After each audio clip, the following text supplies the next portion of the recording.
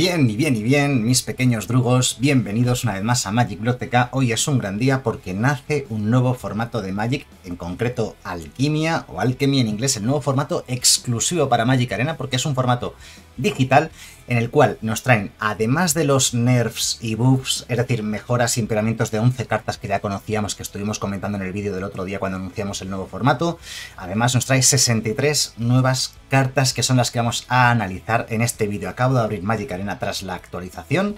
Esto es lo que nos cuentan de Alquimia. Alquimia es básicamente el formato estándar, mismas rotaciones, mismas, mismas colecciones, pero con ajustes, reajustes en las cartas, no ajustes de balance podríamos llamar.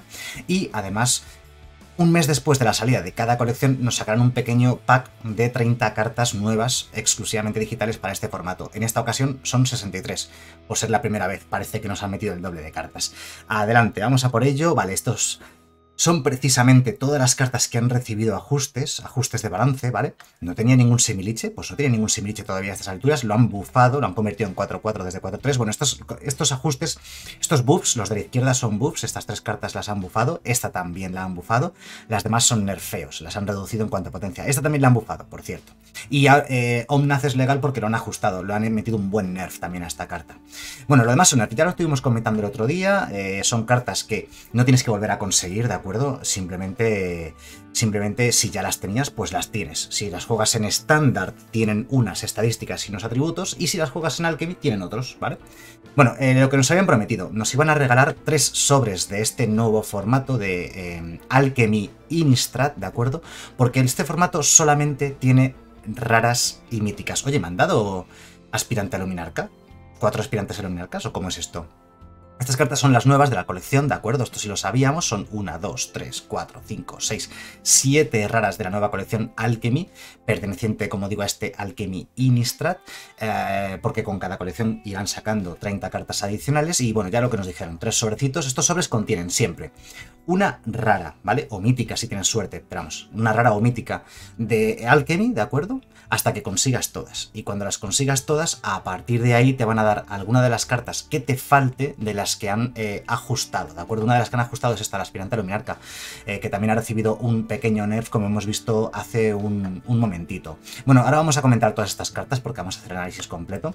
Así que vamos por partes. Vamos a ir primero a, a la tienda, ¿vale? Porque en la tienda nos han puesto lo siguiente. Nos han puesto el precio de los nuevos sobres de Alchemy, que son o mil de oro por cada uno de ellos, ¿vale? Aquí no sé dónde están, sí, aquí está. Eh, puedes comprar, aunque no lo veo, puedes comprar 3.000, eh, perdón, 15 sobres con 3.000 gemas. Eh, vamos a ir a la sección de sobres mejor. ¿Veis? Puedes comprar de Alchemy Innistrad, Alquimia Innistrad, puedes comprar o un sobre suelto por 1.000 o si no, ya 15 sobres por 3.000 gemas. Y ya está, no hay otra opción. Se me hace un poco extraño. Pero nos han puesto también una oferta donde está en bundles. Un bundle de iniciación a este formato que por solo 3.000 gemas, en lugar de 15 te dan 20 sobres. Tampoco es ninguna maravilla, pero los vamos a comprar. Why not? Vamos a comprar esos 20 sobres de alquimia, así que eh, los eh, tres sobres que nos han dado antes, más los 20 que acabo de comprar, Vale, aquí no está. Supongo que a lo mejor incluso hasta me fuerzan a reiniciar Magic Arena para que aparezcan. Es un bug que a veces ocurre. No me aparecen los 20 sobres que acabo de comprar. Las 3.000 gemas tampoco me las han quitado. ¿Qué pasa? ¿No le he dado bien al botón? Bueno, más las 7 raras y míticas que nos acaban de dar hace un momentito. Vale, pues está con... Me parece que voy a tener que reiniciar Magic Arena para abrir los sobres. Ah, no, ya están ahí. Por fin aparecieron los sobres. Vamos a abrirlo, vamos a abrir estos 23 primeros sobres, ¿de acuerdo? Para ver qué es lo que aparece de 10 en 10 para que no sea demasiado lento. Y como os digo, cada sobre contiene una rara que va a ser de alquimia, como estáis viendo, la A y el año al que pertenecen, bueno, siguiente año, digamos, la season, la temporada. Y además el resto de comunes y poco comunes, como en este formato, en esta nueva colección de alquimia, no hay comunes y solo hay, creo que hay unas 10 infrecuentes, algo así, son todo raras y míticas, es que es una colección que no tiene mucho sentido, la verdad. Pues te van a salir eh, comunes e infrecuentes de Innistrad, Cacería de Medianoche y Compromiso Escarlata. Bueno, como podéis ver aquí, si queréis ver con calma las cartas que nos han ido saliendo, podéis verlas tranquilamente pausando, pausando el vídeo si queréis, aunque las vamos a comentar todas ahora, ¿vale? Porque vamos a analizarlas todas. Son bastante, bastante poderosas todas ellas, la verdad es que la gente está un poco asustada con ello. Bueno, se nos acaba de culminar la bóveda, por cierto, acabo de llenar la bóveda, así que estos son un comodín mítico, dos raros y tres infrecuentes que nos dan de regalito, ahora los abriremos, la rueda sigue avanzando y bueno, no está mal y además nos ha salido un comodín raro, lo cual me viene muy bien porque vamos a necesitar muchos comodines, porque comprar sobres suficientes para tener cuatro por de todas estas cartas va a ser casi imposible, ¿no? Vamos a abrir otros 10 de golpe. A ver qué es lo que viene en los siguientes 10 sobres. No me he fijado cuántas de las cartas eran míticas, pero aquí tenemos una mítica y un comodín mítico, así que no está nada mal. Hay un Prince Walker Tibalt, como estoy viendo. Vale, eh, y luego por último los tres sobres ya individualmente para que veáis lo que os estaba comentando. Que con estos sobres individuales te vienen eh, te vienen comunes que son de Innistrad. Bueno, de hecho no son de Midnight Hunt, son todas de compromiso escarlata. Esto no lo habían dejado claro o no lo había entendido bien. No importa, porque son comunes y las comunes no tienen valor alguno. Enseguida tenéis cientos de comodines comunes y poco comunes que no valen para nada, ¿no? Una de las infrecuentes de alquimia es infrecuente por un lado, rara por el otro. ¿O es que es un bug? Esto es un bug. La carta es discípulo fiel, la infrecuente, y creo que la procesión de ungidos es la carta que vamos a desvelar aquí. ¿No? Qué raro. No sé exactamente qué ocurre aquí. Encantamiento clérigo. Ah, vale. Sí. El libro, el discípulo fiel, lo que te hace es seleccionar una carta del libro del discípulo fiel y el libro está el libro contiene esas 15 cartas que estoy mostrando con el clic derecho. Es que no sabía qué es lo que estaba pasando. Es el libro de hechizos, ¿no? Las 15 cartas que habéis visto. Vale, vale, vale. Y esta es la rara que nos ha salido, que creo que no es mala. De hecho, vamos a intentar jugarla. Por cierto, después de la publicación de este vídeo en YouTube, según a continuación eh, pasen unos minutos, vamos a estar en directo en mi canal de Twitch. Ya sabéis, twitch.tv barra magicblogtk. Tenéis el enlace debajo del vídeo en la descripción. Vamos a estar jugando en directo ya mazos con estas nuevas cartas. ¿Veis? Eh, nos han salido las infrecuentes de, de Alchemy, es, ya digo, son de las, de las 63 cartas que tiene en total la colección, creo que son 55 raras y míticas y creo que hay 7, 8 infrecuentes o 10 infrecuentes como mucho, algo así. Y luego las comunes, efectivamente, son de Innistrad, solamente compromiso escarlata, no hay cartas de, de cacería de medianoche, ¿no? Yo pensaba que sí había, pero no que las iban a mezclar. Bueno, reflejos siniestros, luego las vamos a ir comentando todas las cartas, así que tranquilos, va a ser un vídeo largo, va a ser duro, porque las cartas tienen mucho texto, y os comentaré un poco lo que me parecen y tal, ¿no? no efigie eh, alada de miembre, vale, efectivamente las infrecuentes están siendo siempre estas. El, mirad, el libro de hechizos de romper las expectativas, ahí lo tenéis. 15 hechizos, artefactos. Si queréis podéis ir pausando el vídeo e ir viendo todos los artefactos que salen. Y bueno, esta parte precisamente no es la que más me apasiona. Bueno, no está mal, he conseguido unos poquitos comodines. Voy a abrir la bóveda, que es una cosa que siempre mola. La bóveda se va llenando cuando abres eh, un sobre o, bueno, cuando recibes una quinta copia de una común o de una poco común. Ya sabéis que en los mazos solamente puedes llevar cuatro copias de una carta, por tanto, si te salen quintas copias de comunes o poco comunes van a la bóveda. Tarda mucho en llenarse, se va llenando poquito a poco. Creo que hacen falta 900 comunes para llenar una bóveda completa, para que os hagáis una idea, ¿no? O 300 poco comunes, o una combinación proporcional de ambas. O sea que cuesta mucho llenar esa bóveda y cuando la llenas te dan estos comodines, que bueno, tampoco está tan mal, ¿no? ¿no? vamos a pedir peras al olmo. Venga, vamos a ver el tema de la colección, que es para lo que estamos aquí. Ya digo que va a ser un vídeo largo. No he visto prácticamente ninguna de las cartas. Lo que sí que os puedo decir es que, a ver cómo está esto. O sea, es decir, eh, tengo que filtrar, ¿de acuerdo? Esto es nuevo, ¿no? Alquimia. Ah, amigo. Reajustada, colección básica de arena. Ah, mira, en Alquimia van a meter la, la colección básica de arena, la que tenía la A. Bueno, pero queremos únicamente filtrar por las cartas de alquimia. Por cierto, voy a filtrar poco, por poco comunes antes de nada y son 1, 2, 3, 4, 5, 6, 7, 8, 9, 10 cartas que son poco comunes. Por tanto, de las 63, 53 son raras o míticas. ¿Cuántas son míticas? Solamente dos míticas en la nueva colección. Ah, espérate. Obtenidas y sin obtener. Eh, cuidado. Son, eh, pues eso, 10. Son 10 eh, míticas 10 poco comunes y por tanto nos quedan 43 raras en la nueva colección. Vamos a, quitar todos los filtros, le doy a aceptar y vamos a analizar todas. A ver, claro, es que las infrecuentes sí nos habían salido todas porque hemos abierto 23 sobres y como vienen siempre dos en cada sobre, pues ya hemos abierto todas las que hay, son 10. Era fácil que las abriésemos todas, ¿no? Pero claro, las raras y las míticas nos faltaban montones, ya decía yo, dos míticas. Pues ya veis, primera experiencia, 23 sobres me he abierto y tengo una copia de dos míticas. Eh, y hay otras 10 míticas. Por tanto, me faltan 40 míticas todavía y no me va a dar con estos comodines. Bueno, venga, vamos a, vamos a por ello. Vamos a analizarlas. Uf, qué orden más feo, ¿no? Cuatro cartas azules, luego una negra, luego aquí cuatro, cinco rojas. No entiendo muy bien el criterio para ordenar. No sé si incluso filtrar por colores. Lo vamos filtrando por colores quizás es lo más inteligente. Siempre hablamos primero del color blanco, luego del azul, negro. Vamos a hacerlo de esta manera, ¿vale? De lo que os decía, no me he visto prácticamente ninguna de las cartas. Alguna suelta que he visto en redes sociales y, bueno, las conozco algunas, pero prácticamente todas las cartas que voy a ver para mí son absolutamente nuevas. Os aviso, lo que sí que he visto es que tienen muchísimo, muchísimo texto. Son pesadísimas de leer pesadas de comprender. Es lo que menos me ha gustado de lo que he visto. Y luego además muchas tienen su libro de hechizos que te da acceso a otras 15 cartas. No voy a analizar las 15 cartas, obviamente, que te puedes buscar, ¿vale? Porque son cartas ya preexistentes en Magic Arena. Así que no voy a ponerme a comentarlas, ¿vale? O sea, comentamos por encima, muy por encima y ya está. Vengamos con la primera carta del color blanco. Botín del Exterminador, que precisamente tiene 15 cartas de libro de hechizos. La primera, la captura de recompensas. Luego... No. ¿Cómo hago para verlas? Sin crearlas es que si clicas con el botón derecho, como podéis ver ahí dice, haz clic derecho para ver más información. Ah, vale, así lo podemos hacer.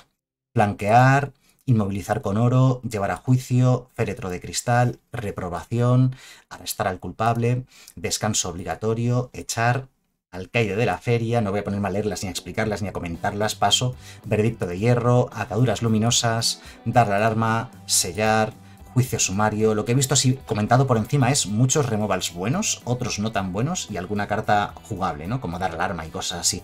O sea que es un libro de hechizos que no está mal. Bueno, por un mana blanco, artefacto legendario que cuenta como pista, ¿de acuerdo? Porque tipo pista es una carta que puedes pagar dos por ella, es una ficha que puedes pagar dos por e, dos y sacrificarla para robar una carta, como podéis ver abajo del texto.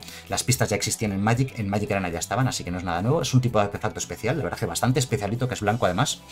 Dice que cuando entra en el juego, miras Mira las cartas de criatura en la mano del oponente objetivo. Te deja ver la mano del rival, pero no todas las cartas, solamente las que son criatura. ¿Veis? Esto es un ejemplo de carta exclusivamente digital. Esto en Magic físico no se podría hacer porque el rival podría engañarte, no mostrarte las cartas que son de criatura únicamente, o no mostrarte alguna criatura, o engañarte. Básicamente esto solo generaría problemas en Magic físico. En cambio en Magic Arena, como es digital, está programado, es automático. El juego te enseña las criaturas y punto, ¿no? Interesante la, la primera habilidad. Luego dice, siempre que sacrifiques el botín, u otra pista que controles, porque hay muchas formas de crear pistas en Magic Arena, bueno, muchas no, pero hay algunas, seleccionas una carta del libro de hechizos del botín exterminador.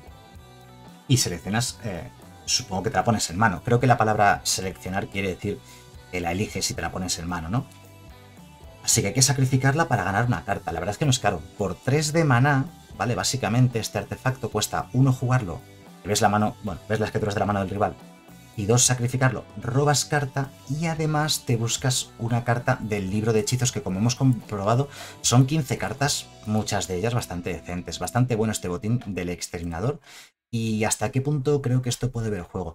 No sé yo si en mazos agresivos va a haber juego, porque en mazos agresivos eh, este tipo de hechizos, este tipo de coste, prefieres dedicarlo a criaturas agresivas. Pero en mazos de control parece bastante bueno. Es un 2 por 1 en toda regla que te da un poquito de información de la mano del rival y, por poco maná, ya digo, o sea, en primer turno muchas veces los mazos de control no hacen nada. Pues mira, ya tiene un buen primer turno. Muy buena carta, sin duda. Ángel de la unidad, por 2, es un clérigo. Ángel 1-3, vuela, vínculo vital, estadísticas ya muy interesantes buena criatura para mazo de clérigos, buena criatura para mazo de ángeles, buena criatura para mazo de ganar vidas, un poco lo tiene todo, ¿no? O sea, la verdad es que ya de primeras me gusta y tiene mucho más texto.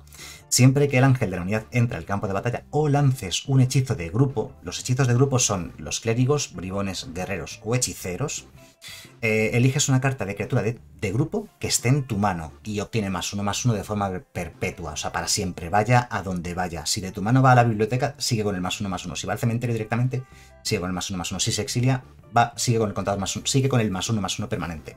Es otro ejemplo de habilidad que solamente es digital. No voy a comentarlo porque creo que todas las cartas son exclusivamente digitales, no podrían existir en Magic físico. Sinceramente muy buena. Eh, sobre todo en mazo de clérigos. El mazo de ángeles tampoco iría mal, podría funcionar en un mazo de ángeles, pero es más para mazo de clérigos porque el clérigo sí es eh, de party. Bueno, y que, duda cabe que en un mazo de party, de grupo, también funcionaría lógicamente porque da más uno más uno a una criatura de tu grupo, ¿no? Pero vamos, especialmente con clérigos la veo bastante buena y bastante jugable, ¿no? Capitán Everhard. Ah, por cierto, ya tenemos las cuatro copias de este infrecuente. ¿Tenemos cuatro copias de todas las infrecuentes? Sí, con 23 sobres que hemos abierto, ya tenemos cuatro por de todas las infrecuentes. Capitán de Everhard, una mítica de la cual aún no tenemos ninguna copia. Por dos es un 1-1 con dañar dos veces, es decir, daña primero y luego también daña normal, ¿vale? Es humano, buen tipo de criatura, y dice que cuesta uno menos lanzar hechizos de entre las cartas que robaste este turno. O sea, muy bueno porque básicamente es una criatura que rebaja el coste de la carta que robes. Eh, si robas tierra, mala suerte. Pero si robas una carta de coste 4, pues podrías jugarla en el turno 3, ¿vale? Juegas el capitán este en el segundo turno y en el tercer turno te robas algo de coste 4, perfecto. O sea, ahí lo, lo bordarías. En cualquier caso es bueno, ¿vale? Es rebaja costes de cartas que vayas robando este turno, ¿vale? Rebaja el coste nada más durante este turno de la carta que hayas robado. O sea, no siempre va a ser bueno. De hecho, yo diría que la mayoría, más de la mitad de las veces no vas a poder aprovecharlo. Pero bueno, no pinta mal. Y luego dice que cuesta uno más lanzar hechizos de entre las cartas que tus oponentes robaron este turno. O sea, es muy buena. Es muy buena carta. Los mazos de humanos le van a agradecer un montón. Otra carta de taxes, es decir, que eleva costes de, de, las cartas del rival. Otra carta más que sumar a la colección de fastidiar al rival. Y ya digo, muchas veces no te va a beneficiar, muchas veces no va a perjudicar al rival, pero bueno, una, cada turno al menos a uno de los dos jugadores le va a tocar ser beneficiado o perjudicado. Y a veces los dos, a veces ninguno. Está bastante bien esta carta, muy potente. Lo que no sé, lo que os digo, si en este coste 2 los mazos de criaturas van a querer gastar su turno 2 en lugar de jugar una aspirante a luminarca o una criatura más... Eh, Ojo que tiene dañar dos veces, que esto como le consigas meter un más uno más uno de ataque, o, sea, más uno más dos de ataque o lo que sea, se vuelve peligrosísimo. La verdad es que la carta esta sí que va a entrar en legendaria. Tres copias van a entrar en muchos mazos agresivos blancos. Muy buena. Pues que son muy buenas las cartas. Ya me lo había comentado la gente que las cartas de alquimia son realmente muy buenas. Y es cierto, ¿eh? Yo las tres, de momento las veo muy potentes, muy jugables para estándar. Y ojo, para histórico incluso también son bastante jugables. Bueno, Discípulo fiel, otro libro de hechizos de 15 cartas. Procesión de ungidos. Tenemos que hacerlo así. Cruzada de los cátaros, autoridad de los cónsules, sello del trono vacío. Si queréis leerlas todas tranquilamente, vais pausando el vídeo. Todo lo que reluce, luz de, o entráis en Magic Arena y lo veis, también podéis hacer esto. Luz de destierro, visitación divina, legado de duelista, himno glorioso, guanteletes de luz, cartas muy buenas, círculo de transportación, además es que eliges, ¿no? Don angelical, dependiendo de la situación de la partida, es que son tantísimas opciones, 15 son muchísimas opciones. Acero espectral, clase clérigo y exaltación angélica. Me parece excesivo que sean 15 cartas. Hacía falta 15 cartas, no bastaría con 5 o 6, quiero decir. Hay 5 o 6 que son claramente mejores que las demás, ¿vale? Hay algunas aquí que prácticamente en ninguna situación las vas a querer elegir. Bueno, pues dice, por 2 es un 2-2, vigilancia, o sea, ataca sin girarse. Eh, que cuando muera seleccionas una carta del libro de hechizos del discípulo fiel. Y quiero decir, seleccionar... Ah, mira, está explicado a la izquierda, antes no lo leí. Seleccionar de un libro. Para seleccionar de un libro de hechizos, elige una de las tres cartas al azar del libro de hechizos de esta carta para añadirla a tu mano. Ah, vale, que no te muestran las 15. Te muestran tres al azar de esas 15 y tú eliges una de ellas y te la pones en la mano. Antes no lo leí, por ese pequeño fallo. Y es lo que os iba a comentar antes también al principio del vídeo, que no conozco las cartas, es la primera vez que las leo. Todas tienen muchísimo texto. Entonces es fácil que cometa algún error al leer las cartas o al interpretarlas. Pido disculpas si eso fuese a ocurrir. Afortunadamente tenéis el texto delante y si vosotros eh, sabéis leer, vais a detectar que he leído algo mal y vais a decir, ah, espérate, esto lo he leído mal, se interpretaría de esta otra manera. Y está, y no pasaría nada, ¿no? Así que bueno, pido disculpas por adelantado si cometo algún tipo de fallo y voy a intentar hacerlo lo mejor posible, ¿vale? Es que son muchas cosas con mucho texto y veis, por ejemplo, el tema de seleccionar, pensaba que era directamente eliges una de las 15, no, no, cuidado. No te quedas una de las 15 de la que a ti te dé la gana, ¿no? Te muestran tres al azar y de ahí eliges una, ¿no? Elige una de las tres cartas al azar del libro de hechizos de esta carta para añadirla a tu mano. Te muestran tres únicamente. Aún así, eh, no le resta valor a la habilidad, ¿de acuerdo? Le quita, o sea, le da sentido a que sean 15, que hay de tanta amplitud, ¿no? De selección posible. Mm, pero bueno, aún así me siguen pareciendo demasiadas 15, la verdad. ¿Es buena esta carta? Eh, es un poquito peor, ¿vale? Porque por dos es un 2-2 vigilancia, no destaca en ese sentido. Y luego tiene que morir para poder seleccionar alguna de estas cartas que a lo mejor te sale alguna que no te vale para mucho ¿no? en la partida. Así que salen tres malas y ya está, ¿no? Así que esta la veo peor, es la menos jugable de las cuatro que hemos visto hasta ahora. Ni siquiera me parece mala, ¿eh? No me parece mala carta.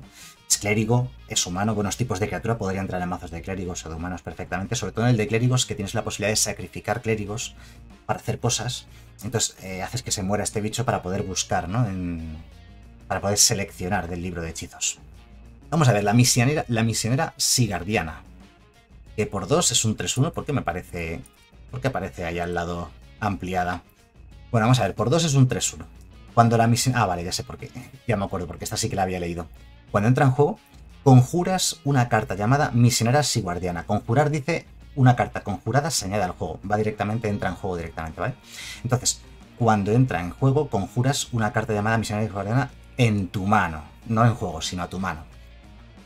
Descarta esta carta al comienzo del próximo paso final, es decir, te la pone en mano y si tienes maná suficiente para jugarla, la juegas y si no, al final del turno, esa carta se descarta, va al cementerio, lo cual es relevante, no desaparece, no se exilia, aunque sea una carta conjurada, es decir, que ha salido de la nada, literalmente de la nada, se te ha puesto en la mano, eh, va a tu cementerio y por tanto puede generar sinergias de cementerio. Aprovechar eso para mazos que tengan algo de cementerio, ¿no?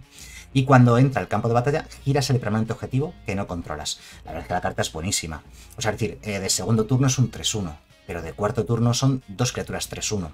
Y de sexto turno, sí, obviamente se entiende que es si llegas al mana suficiente, con 6 de mana, son tres criaturas 3-1. Toda la carta es buena al principio y es buena al final de la partida, es buena en todas las situaciones. La habilidad de girar un permanente objetivo que no controlas puede ser muy útil en muchas situaciones, ¿no? Puede que le gires al rival una tierra para que no pueda jugar algún hechizo. Hombre, el rival siempre puede girar la tierra para extraer el mana en respuesta a ello, ¿vale? Pero puede que gires una criatura bloqueadora que tiene el rival para dar paso a tus criaturas pequeñas. La verdad es que no está nada mal la habilidad. Vuelve a ser clérigo, vuelve a ser humano. Veo que están potenciando mucho la temática clérigos. O sea, de las, de las eh, cuatro criaturas que hemos visto, las cuatro, no, tres son clérigos. O sea que muy bien, muy bien este, esta misión así guardiana. Yo creo que va a haber juego casi seguro. No sé en qué tipo de mazos, de humanos, de clérigos, mono blancas agresivas, blancas verdes, blancas negras, pero tiene mucha, mucha calidad. Aparecen dos, aparece repetida porque puede que la juegues repetidas veces, pero vamos, no, entiendo muy bien la razón de ponerla así. O sea, por, conjurar, bueno, creo que lo van a hacer siempre. Siempre que puedas conjurar te la van a mostrar al lado la, la carta que conjuras. Es que en este caso la que conjuras es ella misma, por eso se hace raro verla por duplicado.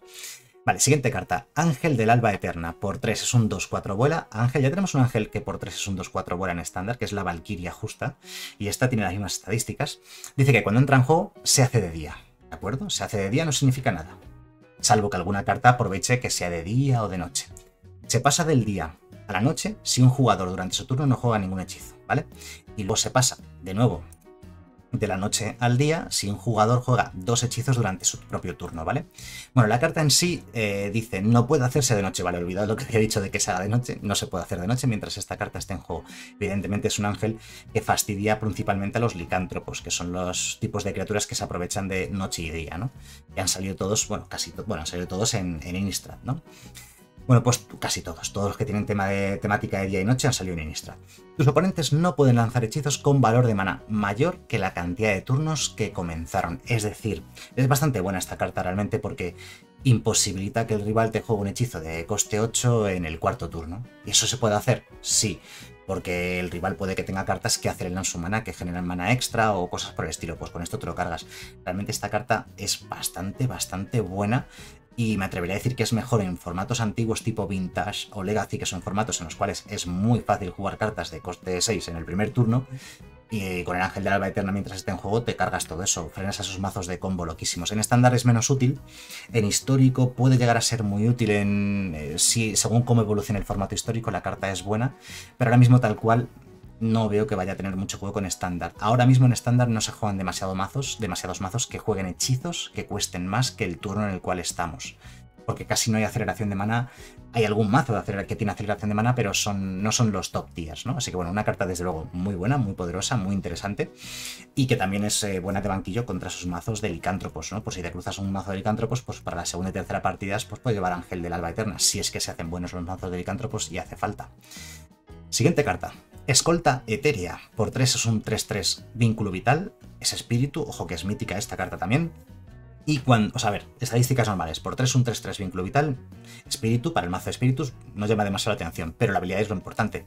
Dice que cuando entra en juego o ataque, eliges una carta en tu mano que gana vínculo vital de forma perpetua. Está bien, la verdad es que la habilidad es bastante buena, pero en espíritu se encaja poco, porque generalmente la temática de ganar vidas es buena, precisamente lo hemos estado comentando antes con tema de clérigos, eh, con tema de clérigos fundamentalmente, mazos más de ese estilo, ¿no? Entonces los, espíritus no, no, tienen temática, no tienen sinergias con ganar vidas, ¿no? Pero bueno, así la carta es bastante buena y podría haber juego incluso en mazos monoblancos agresivos, incluso en mazos de control, eh, ¿por qué no? Un 3-3 vínculo vital por 3, eh, que además... Mazos, de control de criaturas siempre para poder aprovechar su habilidad y dar vínculo vital también a las criaturas de la mano. No es mala, no es mala carta. Ahora mismo yo no le veo mucho juego en ningún mazo, porque sería para espíritus, pero es que espíritus creo que no la necesita. Pero es muy buena carta. Proveedor de la expedición, por 3 es un humano también, ojo con esto, por 3 es un 2-2 nada más. Y dice que siempre que eh, el proveedor de la expedición u otro humano entre al campo de batalla bajo tu control, conjuras una navaja multiusos directamente al campo de batalla. Habilidad que solamente se dispara una vez por turno. Básicamente, si juegas un mazo de humanos, todos los turnos vas a acabar poniendo una navaja multiusos en mesa. Es una caca. Ah, no, espérate, espérate, porque cuando entra en juego se anexa directamente una criatura que controlas, no he dicho nada. Es buena. Es buena si te la pones gratis en mesa, claro, lógicamente, y de la nada, ¿no? O sea, el proveedor de la extinción no es un 2-2. Es, es siempre automáticamente un 3-3, porque el equipo se queda en mesa. El problema es que luego el problema es que luego cuesta 3 de equipar. O sea, una vez que esta criatura ha muerto, puedes tener 10 navajas multiusos en mesa. Si al final vas a juntar un montón de navajas multiusos en mesa, pero cuesta tanto mana equiparlas que prácticamente va a ser eh, imposible llegar a hacerlo. En cualquier caso, es muy curiosa la carta, es muy interesante y habrá que ver. Es guerrero también, se puede montar mazo de guerreros de equipos ojo a un mazo de guerreros con equipos con este proveedor de la expedición y estas mm, copias múltiples de navaja multiusos porque incluso hay formas de abaratar los costes de equipar o incluso equipar gratis. De hecho, la propia carta se equipa gratis según entra en juego. O sea, mientras tengas el proveedor, todos los humanos que juegues te van a proveer de navajas multiusos que entran en juego gratis y que se equipan gratis automáticamente por su propia habilidad. Está bastante bien esta carta, ¿eh? La veo bien para un mazo de humanos agresivo y la veo bien para el mazo de guerreros de equipos, que es un mazo que ya existe. Es malo, pero existe. Eh, de hecho, incluso en histórico existe algún mazo de, equipos, ¿no? Venga, siguiente carta. Purga Divina. Por 3, conjuro, exilia todos los artefactos y criaturas con valor de 3 o menos. O sea, es una especie de ira de Dios, de solo coste 3, entra muy pronto en la partida, que además se exilia, pero solamente esos permanentes de coste 3. Pero lo bueno es que también exilia artefactos. Fichas de pista, de tesoro, ese tipo de cosas también, claro, ¿no? Bueno, pues dice que esas cartas exiliadas ganan te cuesta dos más lanzar este hechizo, y este permanente entra al campo de batalla girado de forma perpetua. Mientras cada uno de ellos permanezca exiliado, su propietario puede jugarlo. O sea, vale, tú te cargas, digamos, entre comillas, todo lo que tiene. todo lo que hay en mesa, ¿vale? Tanto tuyo como del rival. Y todas esas cartas que exilias de coste 3 o menos, artefactos y criaturas, las puedes jugar y el rival las puede jugar, ¿vale? Las suyas y tú las tuyas, pero hay que pagar dos más por ellas.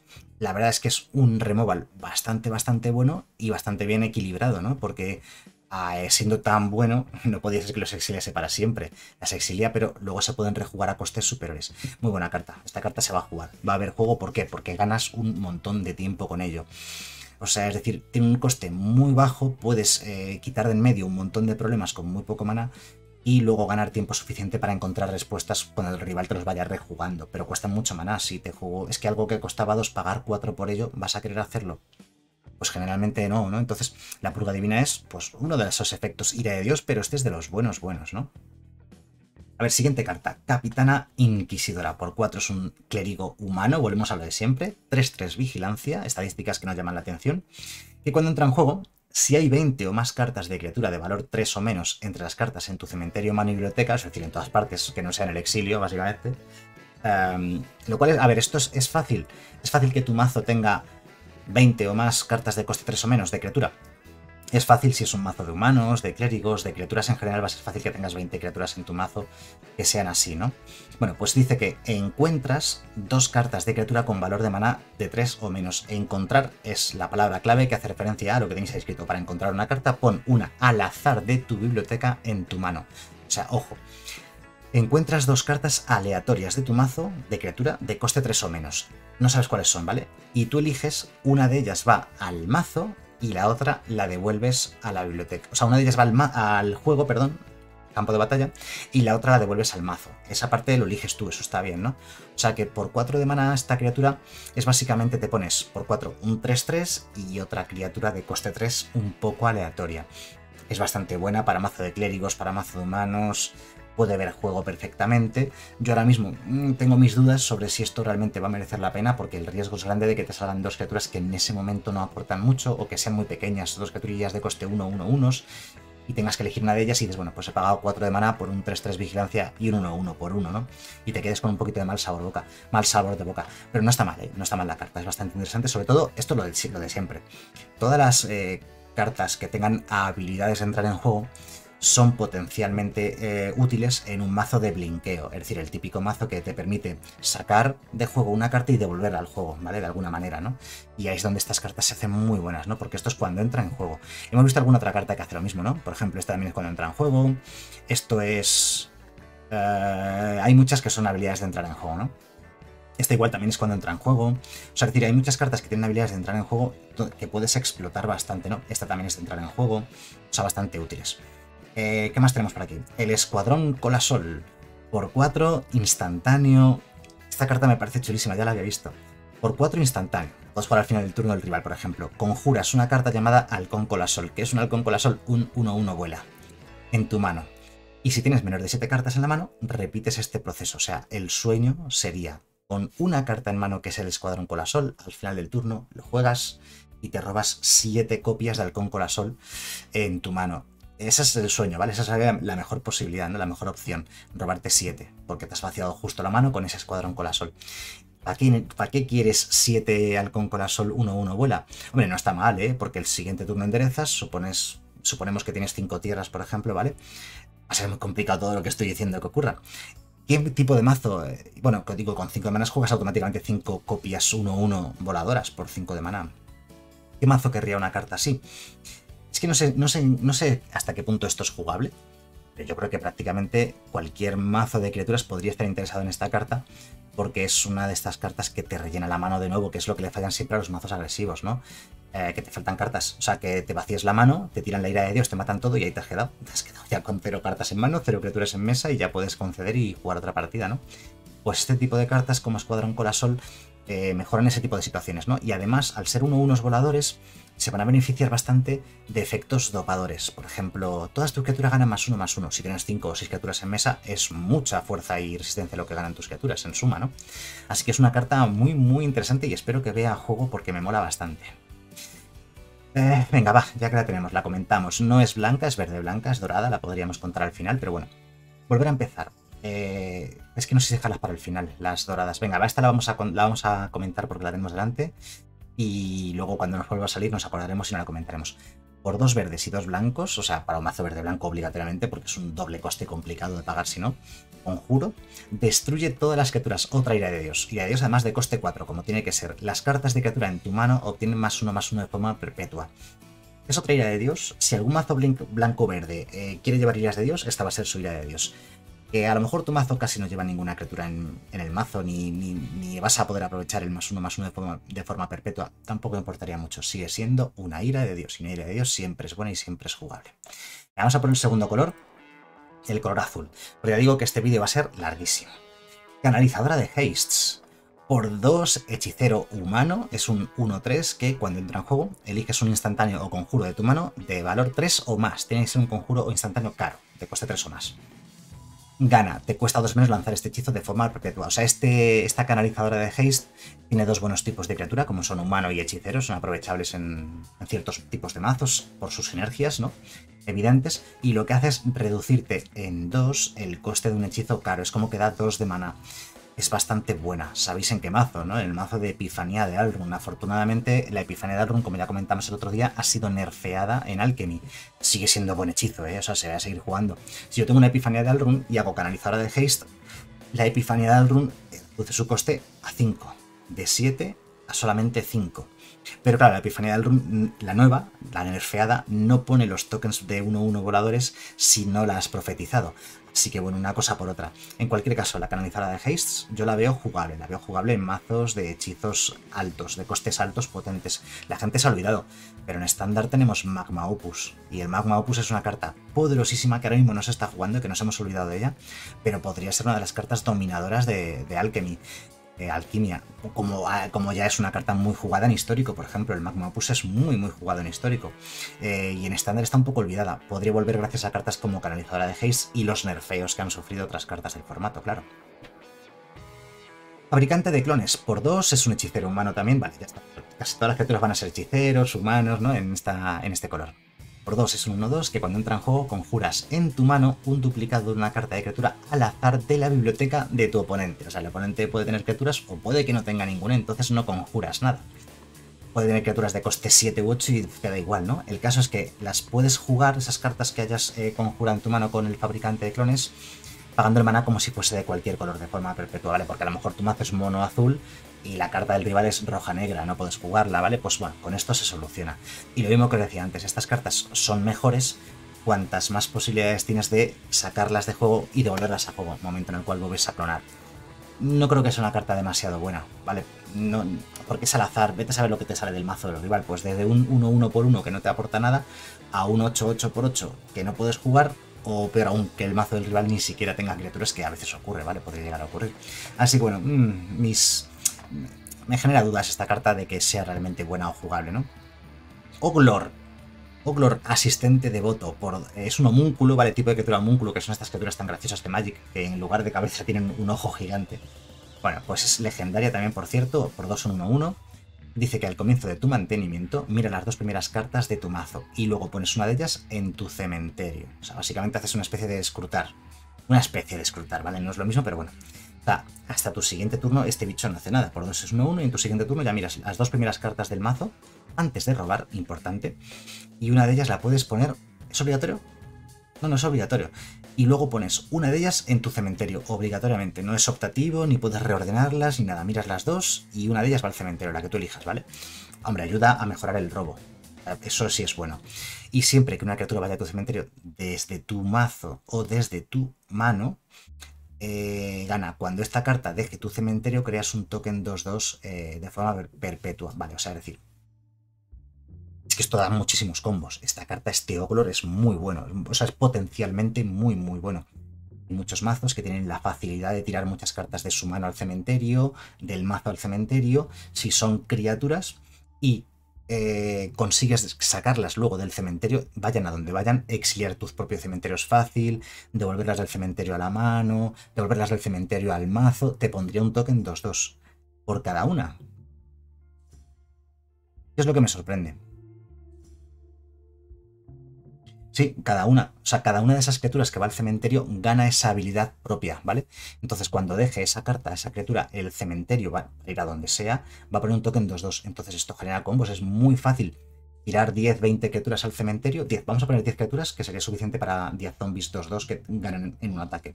Es fácil tirar 10 criaturas al cementerio desde la mano y el mazo. Y es fácil que luego, yo qué sé, exilies el cementerio. Es así de sencillo, ¿no? Te exilias tu propio cementerio o alguna carta que diga barajas tu mazo y, tu cementerio y ya las has sacado ahí y te pondrías todos esos tokens 2-2. Creas una ficha de criatura zombie negra 2-2 girada de forma perpetua, la verdad es que sí. Y además es perpetuo, o sea, si la partida avanza, si volviesen a ir al cementerio y volviesen a dejar el cementerio, volvería a ocurrir el proceso.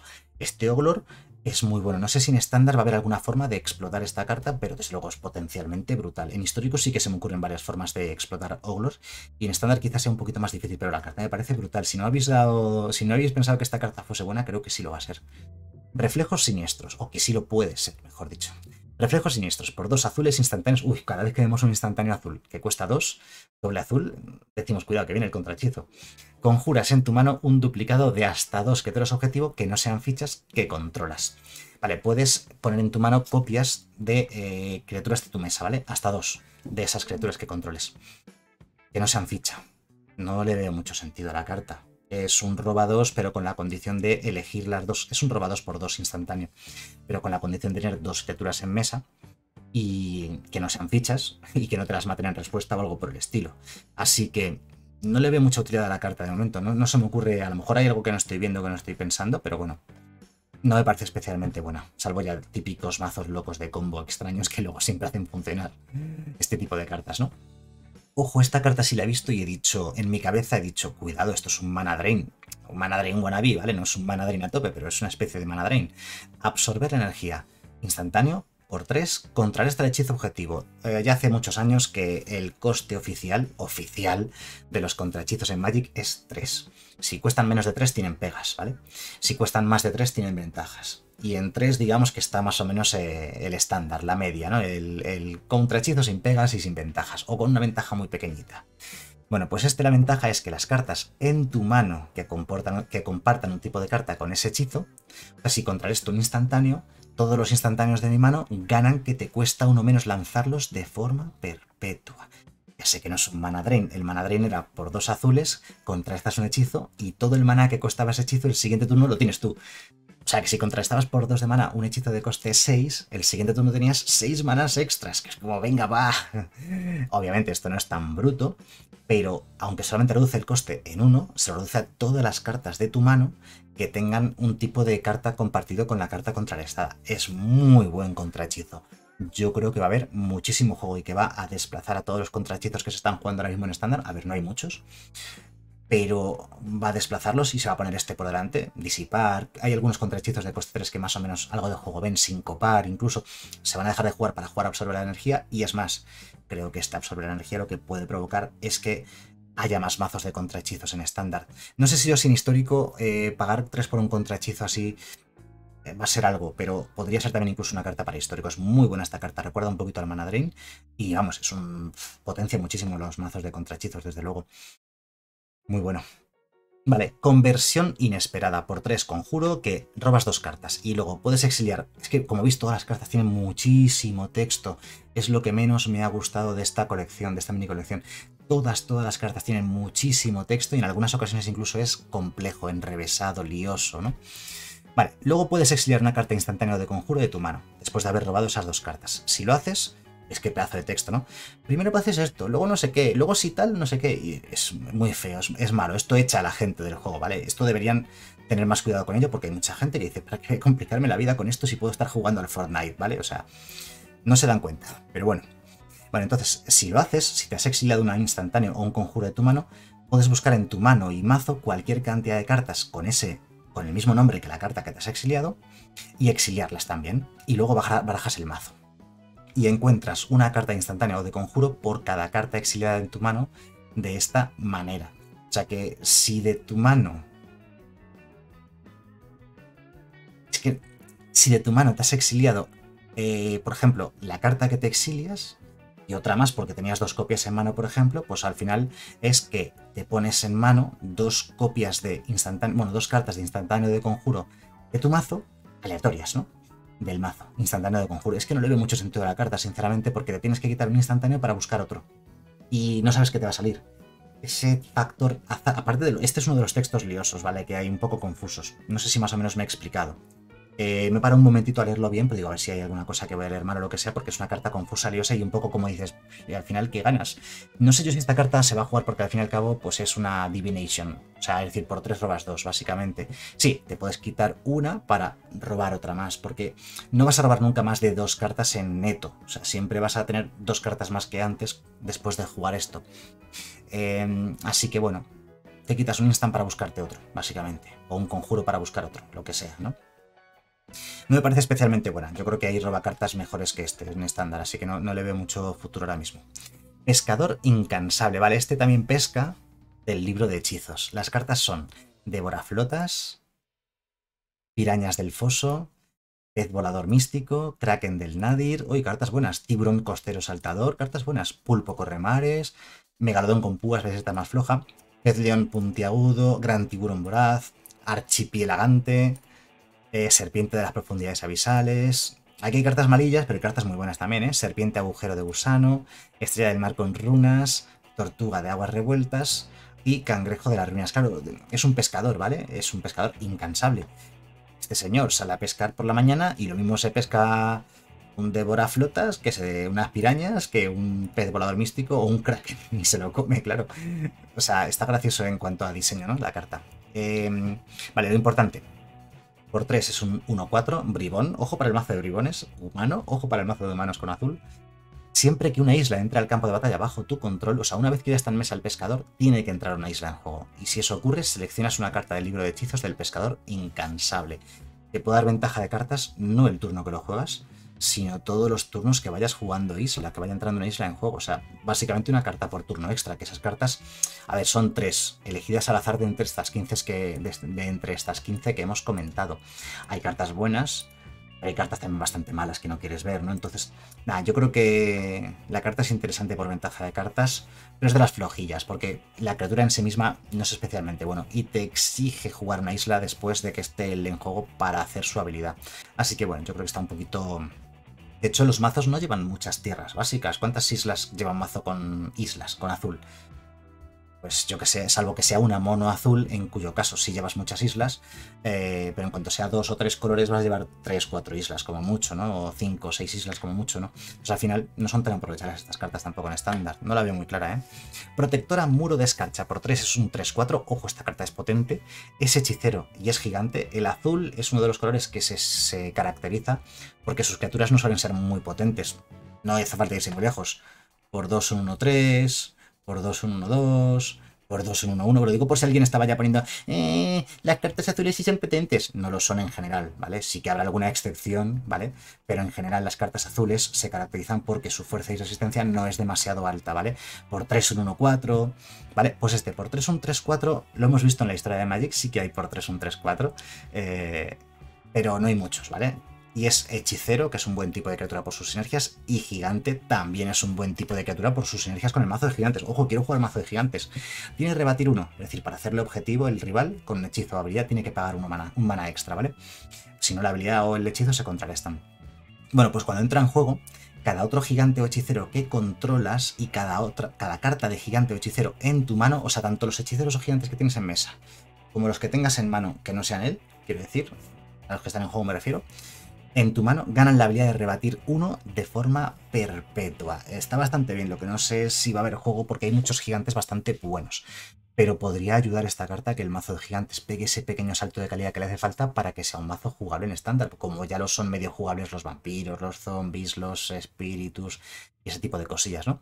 Así que una carta bastante, bastante interesante, además, bueno, es infrecuente. Así que, fijaos, yo ya tengo, no, tengo, mira, tres, me, faltan, me falta una copia de esta. Tengo el 4 por de todas las infrecuentes, pero casi de todas, ¿no? Eh, pero vamos, cuatro comodines infrecuentes es fácil que los tengamos, así que es una buena, un buen añadido, ¿no? Para nuestro mazo de gigantes. Coleccionista obsesivo, por 4 es un espíritu para el mazo de espíritus, con vuela y rebatir 2, no está mal, ¿vale? Por 4 pega 4 y vuela, está bien. Y además tiene rebatir 2, es difícil de hacerlo objetivo. Vale, pues siempre que hace el combate a un jugador, encuentras una carta con valor de mana igual a la cantidad de cartas de tu mano. Y encontrar lo mismo de antes. De tu mazo, eh, una carta al azar en tu mano, ¿vale? De tu mazo, una carta al azar directamente. O sea, es decir, del coste igual al número de cartas en tu mano. Es bastante buena esta carta, ¿eh? Esta carta es bastante potente no sé si para mazo de espíritus o para en general casi cualquier mazo que quiera obtener ventaja de cartas. Es un poco de coste alto, generalmente los bichos que te permiten obtener ventaja de cartas en el azul suelen ser de coste 2 o 3 y esta se va a coste 4. Pero lo compensa con mucho daño y lo compensa con eh, una ventaja de cartas bastante interesante si eres capaz de... Bueno, si es capaz de mantener un número alto de cartas en mano. Y además me gusta el rebatir 2, que lo hace difícil de, matar, ¿no? O de interactuar con él. Bastante buena esta carta. Eh, me imagino podrían llegar a surgir mazos con azul eh, midrange, ni control ni agresivos, ¿no? Con este tipo de cartas. Eh, por ejemplo, verde-azul. Una verde-azul midrange que... Claro, en este formato, claro, el carruaje de Sika es un poquito peor, así que la criatura de coste 4 en una verde-azul podría ser coleccionista obsesivo en lugar de carruaje de Sika. Una carta bastante interesante, ¿eh? En otros estándares de hace muchos años, os diría que era una carta que podría romper estándar esta carta hace 15 años. A día de hoy es más complicado porque el poder de, el nivel de poder de las cartas es mucho más alto, pero desde luego me encanta, ¿eh? me parece muy chula. Rechazo de la estirpe por 4 instantáneo infrecuente, por cierto. Contra esta el hechizo objetivo, como cuesta 4 tendrá ventaja. Encuentras una carta con el mismo valor de mana que ese hechizo, o sea, de tu mazo al azar ponen una carta con el mismo coste, o sea, es decir, esto es un robas una carta. Si contrarrestas algo de coste 6, robas una carta de coste 6 de tu mazo.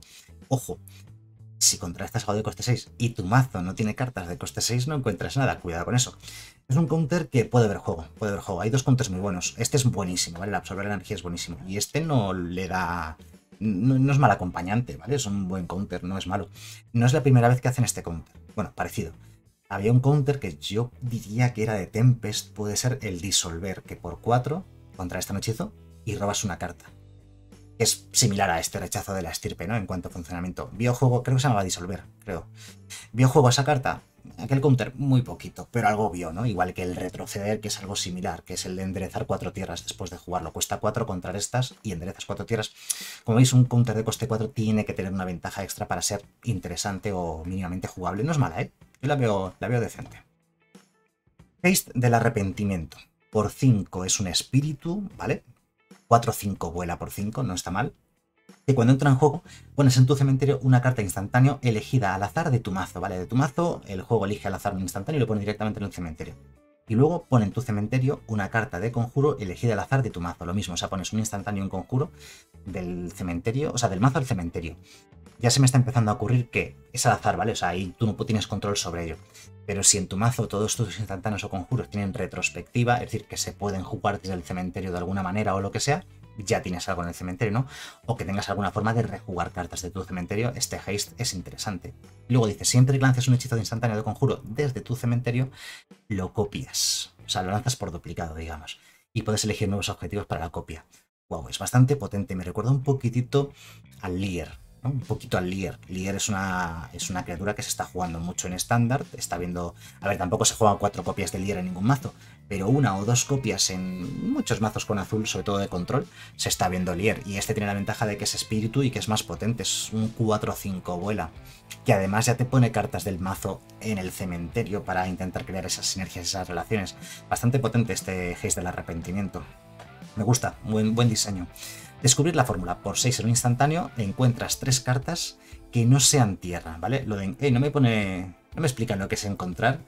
Bueno, el caso es que encuentras tres cartas que no sean tierra. Tres cartas al azar de tu mazo que no sean tierra, te las pone en tu mano. Ojo, que es un instantáneo de coste 6. Cuidado.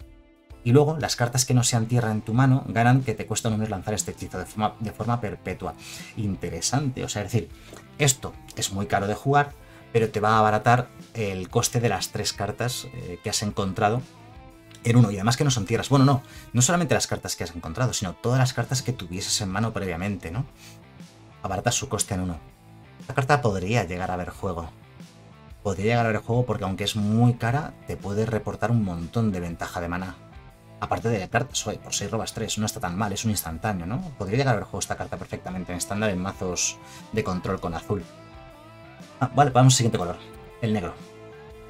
Dentro del color negro tenemos Bruja Presa de Maldiciones. Por uno es un brujo humano 1-2, por uno nada más de mana. Que tiene libro de hechizos, por cierto. Libro de hechizos. Vamos a verlo primero.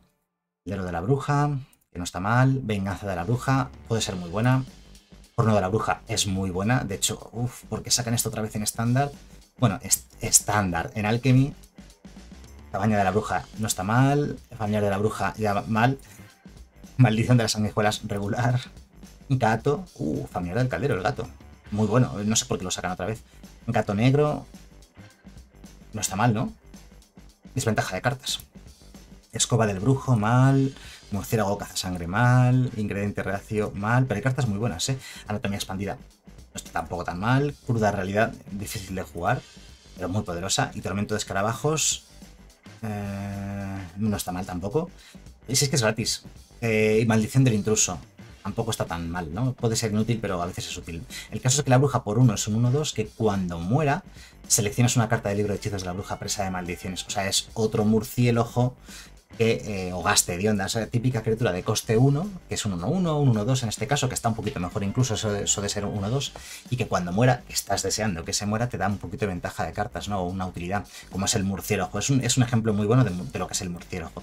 Así que bueno, infrecuente, de la cual tengo tres copias, no tengo las cuatro, que no está mal. Los mazos de sacrificar criaturas o las mononegras de control, puede que quieran llevar la bruja presa de maldiciones en lugar de tanta gast hedionda o murciélagos, pero entra ahí en competición directa con murciélagos buena carta y el murciélago se, el murciélago se juega bastante.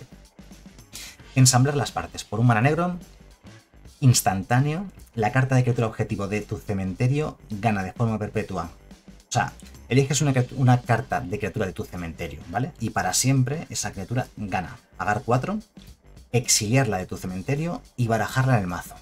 Y entonces creas una copia de ella, excepto que es un zombie negro 4-4 además de sus otros tipos. Activa esto solo a velocidad de conjuro, vamos, que no puedes hacer la velocidad instantánea ni al final del turno del rival, ni en cualquier momento de la partida, ni nada de ese estilo. Es como la habilidad esta de, de Amonkhet, ¿no? Es una tipo de habilidad parecida a la de Amonkhet. No es exactamente igual, pero es parecidilla. No recuerdo el nombre ahora mismo de esa habilidad. Se lo otorga a una criatura de tu cementerio.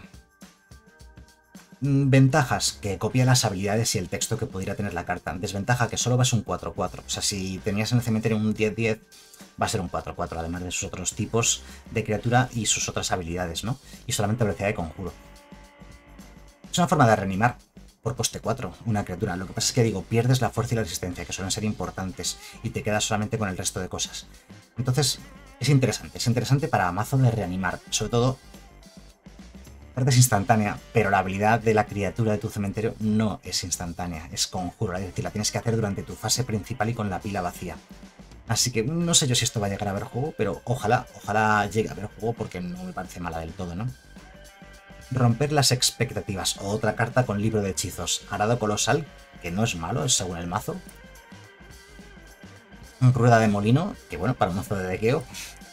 Fabrica ingenios mal, cetro del magistrado. Esta carta la he visto funcionar en limitado, en construido nunca la he visto funcionar, pero bueno, no es mala del todo, ¿eh? Cetro del magistrado, anillo duplicador que no está mal, carga de los incursores, voy a leerlas solamente y no voy a comentarlas todas como digo porque entonces me eternizo. Estante de armas, eternizar. ¿Era, ¿Era eternizar la habilidad que se parece a esto? ¿Es eternizar o es la otra? Es que no recuerdo el nombre. Bueno, sigo, vale, perdón, que me, he, ido, he leído la palabra. Eh, eh, ¿Dónde he leído? No sé dónde lo he leído. Reliquia Dorazca, bueno, lo de eternizar. Ah, lo he dicho yo porque me ha salido así. 50 pies de cuerda, pira de héroes, cofre del tesoro, armadura de cuero, trampa de pozo con pinchos y bruto de jengibre. Hay cartas que no están mal, ¿vale? Como siempre en estos libros de hechizos. Bueno, pues por uno es un conjuro que el jugador objetivo muestra las cartas de valor 2 o menos de su mano. Y tú eliges una de esas cartas y la exilias. Y si una carta fue exiliada de esta manera, ese jugador selecciona una carta de libro de hechizos de romper las expectativas y la muestra. Pero te la quedas tú, entiendo, ¿no? No, se la queda él. Creo que se la queda él. Iba a decir que la carta me parece muy buena, en plan confiscar pensamientos por un mana negro, le miras la mano... Bueno, le miras la mano, le miras solamente las cartas de coste 2 o menos que pueda tener y le quitas una de ellas, incluidas tierras. Es un quitacartas de tierras, pero claro, es que, claro, es que es muy, muy peligroso. Nunca ha existido un quitacartas de tierras, ¿vale? En Magic porque las tierras son el recurso con el cual juegas el resto de cartas. Quitarle tierras al rival es demasiado valioso, demasiado poderoso y por eso siempre han intentado eludir ese tipo de cosas. Por eso los eh, petatierras, las cartas de destruir tierras, hace ya muchos años que son malas, para no facilitar el tema de destrucción de tierras. Por tanto, un quita cartas de tierras tiene un efecto similar. Este sí es un quita cartas de tierras. Cállate, Google. ¿Pero qué búsqueda? ¿Pero quién te ha hablado? Está loco mi móvil, se ha puesto a hablar. ¿Quién le ha preguntado? Bueno, el caso es que eh, le das ventaja al rival, le quitas a lo mejor una tierra. Eso es, ojo que es duro, ¿eh? Esta carta es buena. Esta carta es buena. Es que es muy peligrosa. Espérate, espérate, espérate. Aunque le des una carta del libro de hechizos, que sí, que son 15 cartas, que hay algunas que son buenecillas, hay unas cartas bastante útiles aquí. Imagínate la típica mano. Muestra todas las cartas con más de o menos en su mano. Y tú eliges una de esas cartas. Y exilias. Eh, típica mano que te quedas con dos tierras justitas para funcionar el mazo. Te hacen romper las expectativas y te quitan una de esas dos tierras. ¿Qué haces? Te acaban de hundir. Esta carta es muy buena, aunque conjure... Bueno, aunque es conjurar... Seleccionar... Sí, es seleccionar una carta del libro de hechizos. Aunque le des una carta del libro de hechizos en su mano, eh, o sea, decir, mira tres cartas al azar y elige una, a lo mejor le sale un arado colosal, que es una carta bastante, bastante inútil, o otras dos cartas bastante inútiles y tampoco las aprovecha. Esta carta puede ser muy buena, ¿no? Como quita tierras, básicamente, de la mano. Es un poco peligroso. Puede ser dañina para el formato incluso esta carta, ¿eh? Si es buena, es que ahora mismo no sé si va a ser buena. Me da la sensación de que sí. Podría ser dañina y podría propiciar que todo el mundo lleve lleve más tierras de las que necesitan sus mazos, se quede en manos de más tierras y que todo el mundo juegue negro con cuatro romper las expectativas. Me parece una carta que, con cierto peligro, ¿eh? Tan buena que, tiene cierto peligro. A lo mejor luego estoy equivocado en todo y por ha leído mal o algo, pero no, me parece que la ha leído bien. Extraer la vitalidad. O que ha interpretado bien, quiero decir. Por dos negros, instantáneo, hace tres puntos de daño a una criatura o principal que el objetivo. y una criatura de tu mano obtiene más 3 más 0 de forma perpetua, que es mucho daño.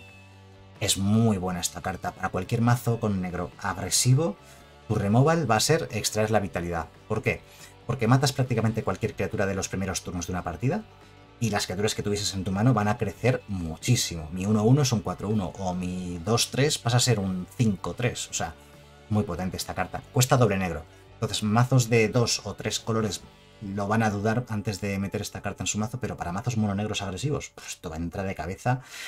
Más que también hace daño a Planeswalkers, es muy buena y es instantáneo. Esta carta es buenísima, se va a jugar hasta la saciedad en mazos mononegros agresivos. Llama muertos veterano. Por 2, un 2-1 con amenaza, bribón, ojo para el mazo de bribones, humano, hay muchísimos humanos en esta colección. Siempre que una carta en tu cementerio vaya a tu mano, conjuras un duplicado de esa carta en tu mano. O sea, si tienes alguna forma de devolver cartas de tu cementerio de criatura a tu mano, las devuelves por dos, ¿vale? Duplicadas. Eh, a ver, a priori ahora mismo no se me ocurren muchas formas de devolver criaturas de tu cementerio a tu mano. Pero si consigues meter en un mazo con llama muertos veterano esa sinergia, eh, la carta es muy potente. Y por dos es un 2-1 con amenaza. Entra muy pronto en la partida y luego es difícil de bloquear. Eso sí, muere muy fácilmente porque aguanta uno. Pero ojo, la carta es potencialmente buena en esa estrategia, ¿no? ¿no? está mal. Muchas cartas con un diseño un poco peculiar, ¿no? Como buscando estrategias que no existen, pero como para que las intentemos crear, y eso está bien. Siguiente cero. Por dos es un zombie 2-2 con vínculo vital, no está mal para mazo de zombies, para empezar no está mal. Dice que el daño no se remueve de las criaturas que controlan tus oponentes durante los pasos de limpieza. Al final de cada turno eh, hay una fase final de turno, ¿vale? Y en esa fase final el último paso de todos los que hay, porque un turno de Magic es muy complejo, mucho más complejo de lo que os podéis imaginar. De hecho, tengo un vídeo en el canal en el cual explico las fases del turno y todos los pasos que tiene, ¿vale? Eh, si ponéis en YouTube Magic Block TK fases del turno, lo vais a encontrar el vídeo. Bueno, pues como digo, en esa fase final de turno hay varios pasos y el último paso en el cual ya se acaba el turno definitivamente es el paso de limpieza, en el cual no ocurre nada. O sea, tú no puedes jugar cartas, ni el rival puede jugar cartas. Lo único que ocurre es que eh, ocurren varias cosas, ¿vale? Pero fundamentalmente la más importante de las que ocurre es que los daños que tuviesen las criaturas se, remueven, se quitan, ¿vale? Bueno, pues este paciente cero tiene una habilidad muy curiosa, yo creo que no existía en Magic, esta habilidad nunca la había visto, vamos, no, no la recuerdo ahora mismo. Una habilidad muy curiosa que hace que los daños no se vayan, pero solo de las criaturas del rival. Eso en muchos juegos es así, muchos juegos de cartas eh, funcionan de esa manera, ¿no? Por ejemplo, en mi querido Battletech, el juego de cartas de Battletech era así. Bueno, y otros juegos de cartas digitales como Hearthstone también es así, ¿no? Las criaturas reciben daños y se quedan con la vida que se quedan para siempre, ¿no?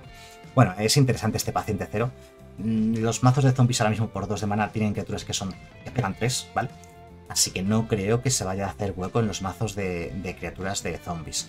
Eh, agresivos, quiero decir, de estándar. Pero, pero, pero, tiene vínculo vital y su habilidad es muy buena contra otros mazos agresivos. Entonces quizás es una carta para esos banquillos, contra ese tipo de mazos, contra otros mazos agresivos que vas a estar, digamos, castigando siempre las criaturas del rival y que va a ser más fácil matarlas eh, con el paso del tiempo. Así que bueno, no es mala del todo. Fango Depredador. Por 3 es un 3-3 con amenaza, tipo de criatura cieno. Así que en principio eso no, no supone muchas sinergias. Cuando entra en juego, eliges un permanente que no controles, ¿vale? Un permanente del rival, que puede ser una tierra, una criatura o lo que sea, ¿no? Cualquier cosa que esté en mesa es un permanente, para entendernos.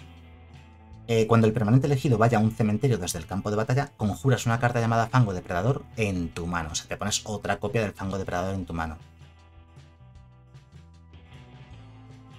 El problema es que creo que el Fango Depredador tiene que estar en mesa para que se dispare la habilidad. Si el Fango Depredador ya no está en mesa, entonces ese permanente eso es permanente. Uy, aquí tengo mi duda, ¿no? Tengo una pequeña duda con este tipo, con esta, con esta criatura. Yo elijo una tierra tuya, ¿vale? Si más adelante me mata el fango depredador del rival y yo más adelante destruyo esa tierra, por ejemplo, ¿me pondría otro fango depredador en mano o no? Yo creo que no. Yo creo que mientras... Yo creo que mientras no esté en mesa, no. El texto, o sea, el texto de la carta tendría que decir ese permanente gana de forma perpetua que cuando deje el campo de batalla, bueno, cuando vaya al cementerio desde el campo de batalla, el rival conjura una carta llamada Fango Depredador en su mano. Creo que si no, no va a ocurrir, ¿vale? O sea que tiene que estar en mesa. No me parece que sea demasiado bueno, aunque es cierto que yo que sé. Es que por 3 es un 3-3, sí, con amenaza y eso, pero las condiciones de eh, que se duplique, bueno, que no se duplica, es que se ponga otra copia en tu mano, son complicadas y aún así por 3 sigue siendo un 3-3, tampoco es la gran cosa. En cualquier caso es una vida bastante interesante, digo, no, no va a funcionar si el bicho no está en mesa, supongo, o sea, no, no debería ser así. No está mal, pero yo no le veo demasiado juego, sobre todo siendo cieno. Mira, si me lo pones como un zombie o un vampiro, que son mazos que sí son potencialmente buenos, ah, dicen, ah, vale, esto en el mazo de zombies se puede aprovechar, en el mazo de, de vampiros se puede aprovechar, pero al ser un cieno lo veo un poquito más eh, solo, eh, solo en el campo de no solo en el mundo, ¿no? Bueno, Good Morn, siervo pactante. Por 3 es un demonio legendario, 1-3, vuela, toque mortal, que cuando entra en juego cada jugador descarta una carta que no sea tierra. Interesante, o sea, estás forzado, tanto tú como tu rival, a descartaros una carta. Es un efecto simétrico, eso no es bueno, pero si llevas esta criatura en tu mazo, eh, vas a intentar que a ti descartarte cartas no sea un problema, que las puedas rejugar desde el cementerio o aprovechar de alguna manera desde el cementerio, ¿no? Sería esa la idea. Y el rival no va a poder hacer eso probablemente. Vale, pues siempre que un jugador descarte una carta durante tu turno, por ejemplo el turno que has jugado el propio Goodmorn este, ese jugador elige a otro jugador, es decir, a ti. El texto está escrito así para las partidas multijugador. De hecho, que hayan escrito esto así, este texto, en Magic Arena, porque esta carta solo existe en Magic Arena, nos hace pensar que están trabajando en el tema multijugador de Magic Arena. Son muy buenas noticias. Bueno, pues eso, el rival. A ver, siempre que un jugador descarte una carta durante tu turno, ese jugador elige a otro jugador. Es decir, el rival te elige a ti y tú eliges al rival. Pero el texto está redactado eh, no refiriéndose a un único posible oponente, sino como si hubiese cuatro jugadores en mesa, o seis jugadores, o lo que sea, ¿no? Están un poco ya hablando del tema multijugador. Bueno, pues ese jugador conjura un duplicado de esa carta en su mano y gana. Puedes usar mana como si fuera mana de cualquier color para lanzar ese hechizo de forma perpetua. Si no lo he entendido mal, es simétrico. Todo es simétrico, ¿no? Ese jugador elige a otro jugador y ese jugador conjura un duplicado. O sea que siempre te vas a poner eh, una copia de la carta descartada en tu mano y el rival también de la carta descartada y que puede jugar... Ah, vale, cada jugador lo que se queda es una carta del rival en su mano. No le veo mucho sentido a la carta. No sé si lo estoy entendiendo mal, pero bueno, por 3 un 1-3, bola toque mortal no me dice mucho. El hecho de forzar a descartar cartas no me dice tampoco demasiado porque es simétrico, entonces no sacas ventaja, sino que te quedas igual en cuanto a ventaja de cartas respecto al rival. Hombre, la idea sería hacerlo con, la mano vacía. Si tú en la mano solo tienes tierras o no tienes cartas, tú no descartas nada y el rival sí. Y entonces tú sí te conjuras una, una, carta de la mano del rival y el rival no se conjura nada porque tú no has descartado nada. Ahí está, claro, ahí está el truco. Tradicional esta carta no la veo, no, ahora ya la veo. La veo en una estrategia en la cual te vacías la mano y entonces haces good morning. Good morning. Good morning, eso, ¿no? Esto es un troleo. O sea, este nombre no puede ser casualidad, ¿no? Good morning, de hecho, good en alemán, ¿no? Eh, good es good en, es buen, es bien en alemán, ¿no? O sea, es como en inglés, pero. Y no sé cómo se dice Guten Morgen. Se parece mucho, ¿no? Guten Morgen. Buenos días, en, alemán a good morning. Bueno, no sé si viene de ahí el troleo. La, la carta es buena, ¿eh? Me gusta, me gusta es bastante buena, un mazo muy específico, que se vacíe la mano rápidamente y que gastas. Tú te descartas, yo no me descarto, por tanto tú no conjuras, pero yo sí conjuro tu carta. Está bastante bien, me gusta mucho, ¿eh? Muy buena esta carta. He pasado de no entenderla, decir esto es malo y tal, a decir que es muy buena, una vez que he entendido la gracieta, el truco que tiene escondido, ¿no? Vale, pincelada sangrienta, encantamiento por 3. Cuando entra en juego creas una ficha de sangre y conjuras una carta llamada Artista de Sangre en el campo de batalla. Vale, eh, la ficha de sangre es esto, ya lo conocemos de Innistrad. Y el artista de sangre es una carta que ya teníamos en Magic Arena, está en histórico, y que es bastante buena en mazos de sacrifice, de sacrificar criaturas, de poner muchas criaturas en mesa y que luego se mueran y cosas de ese estilo. Bueno, pues cuando entra en juego, em, creas una ficha de sangre y te conjuras en la mano, ¿verdad? Eh, una carta llamada Artista de la Sangre. Ah, no, la conjura directamente en el campo de batalla. Vale, o sea que por tres semanas estás poniendo dos permanentes en mesa una ficha de sangre y un artista de la sangre que no es mala carta, ¿eh? Es vampiro, mazo vampiros, por cierto. Siempre que sacrifiques una ficha de sangre, lo cual es fácil en un mazo de vampiros que juntes 4, 5 o 6 fichas de sangre y cuesta un maná sacrificar la ficha de sangre, cada oponente pierde una vida y tú ganas una vida. Ojo, mazo de fichas de sangre con pincelada sangrienta, artista de la sangre y mazo de vampiros. Creo que esta carta puede ser el salto de calidad enorme que necesitaban los vampiros para pasar a ser buenos, ¿eh? Me parece muy buena esta pincelada sangrienta, muy muy buena para el mazo de vampiros. O para un mazo que intente buscar combos o sinergias ya más directas a, a de sangre nada más. Muy buena carta, ¿eh? Esta carta va a haber juego seguro. Va a potenciar muchísimo a los vampiros. Acechadora urbana experta, por 4 es un 3-3 con toque mortal, y cuando entra en juego el oponente objetivo descarta una carta con el mayor valor de mana de entre las cartas en su mano. O sea, lo dicen de esa manera por si tienes tres cartas de coste 7 en mano, pues que se descarte a su elección una de las de coste 7. Podrían reducir el texto a la carta de mayor coste, elige él, la de mayor, es la de entradas de mayor coste que tenga, ¿no? Bueno, y creas una ficha de sangre. Es buena esta carta. Es buena porque es un 3 por 1 Pones un 3-3 toque mortal en mesa. Es cierto que 4 de mana es un poquito caro, pero bueno, pones un 3-3 toque mortal en mesa pones una ficha de sangre y el rival se descarta su mejor carta. Generalmente cuanto más eh, alto es el coste de una carta, mejor es dicha carta, ¿no? O más poderosa seguro que va a ser. Así que, ojo, y es vampiro para el mazo de vampiros. Esta acechadura urbana experta me parece muy, muy buena, es un 3x1. Y esta pincelada sangrienta me parece muy, muy buena y además son sinérgicas las dos porque ponen fichas de sangre. Ojo a los vampiritos, que vienen fuertes. Alzadora de marionetas por 4 son 3-3, hechicero y zombie. Zombie es más interesante porque la temática de estas últimas colecciones es de zombies, entre ellas, zombies, vampiros, cosas así. Bueno, pues al final del turno, veis, dice al comienzo de tu paso final. Dentro del final del turno hay varios pasos y hay un paso que es el paso final, ¿vale? Bueno, pues se exilia hasta una carta de criatura objetivo de tu cementerio, ¿vale? O sea, al final del turno eh, puedes, puedes exiliar una criatura de tu cementerio, por eso dice hasta una. Si lo haces, encuentras una, carta de criatura con valor de mana igual al valor de mana de esa carta más uno. O sea, si yo exilio del cementerio una carta de coste 2, encuentro de mi mazo, mi mano, una carta aleatoria de coste 3, ¿no? Si la que exilias de coste 2, encuentro una de coste 3. Y esa carta gana la habilidad de amenaza de forma perpetua. No es mala. No es mala, lo que pasa es que por 4 solamente son 3-3, que te va a dar una, una criatura al final del turno. La pega de esto es que si te la matan, según la juego me la matan, no ha hecho nada, no ha hecho nada. Tienes por 4 un 3-3 que le ha gastado un removal al rival, eso sí que es cierto. Es mítica, no es mala. Y la carta gana de forma perpetua la habilidad y lo hace todos los turnos al final del, o sea, al final del turno. O sea que no está nada mal la carta, la verdad es que puede dar mucha ventaja de cartas potencialmente y eso puede ser bastante bueno. Supongo que a los mazos de zombies no les va a importar llevar una o tampoco vas a llevar cuatro copias de esto, pero una o dos copias del Fadora de Marionetas no me sorprendería ver en los mazos de zombies. Ishkana, madre de progenie. Ojo esta carta. Por 4, una araña, 3-5 alcance, o sea, puede bloquear criaturas voladoras. Le da más 1, más 2 a tus otras arañas. Hay una carta especialmente buena que pone arañas, que es Lolth, el Planeswalker. Pone dos arañitas 2-1. Bueno, por, decir, por decir un ejemplo, seguro que si nos ponemos a indagar, seguro que si ponemos en el buscador de estándar, bueno, de Alchemy, perdón, ponemos araña, seguro que dices, anda, pero si hay un montón de arañas buenas. Hay muchas arañas buenas en histórico, seguro. En estándar ahora mismo no lo sé, porque la verdad es que no, no hay ninguna que sea, creo, buena ahora mismo, o especialmente buena. Pero en histórico hay alguna que se me viene a la cabeza que sí que es buena. Más uno más dos es mucho, mucha estadística, ¿vale? Mucha fuerza y resistencia. Y además puedes pagar dos y exiliar dos cartas, cualesquiera de tu cementerio, para seleccionar una carta del libro de hechizos y ponerla en tu mano. El libro de hechizos de Iskana es Araña de, doble, de la doble seda, que no es ninguna maravilla. Draña, que tampoco es ninguna maravilla. Pescadora con crías, lo mismo. Reclusa de las rocas y radialuz. Si hay alguna buena, lo digo. Reclusa de Notbolt. Araña de criadero, esta es buena, pero es muy cara. Araña mamut. Araña lanzatelas. Araña centinela.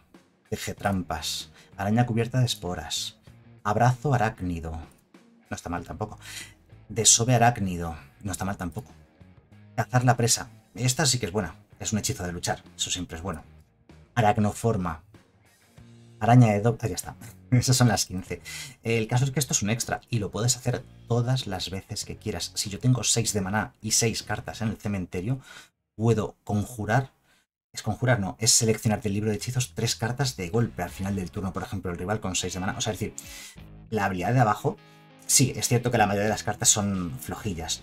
Pero son gratis bueno, gratis, pagas dos de maná, exilias dos cartas del cementerio y te pones una en mano. Y lo puedes hacer todas las veces que quieras. Ojo, es potente esta carta, no es nada mala. Ojalá se llegue a jugar.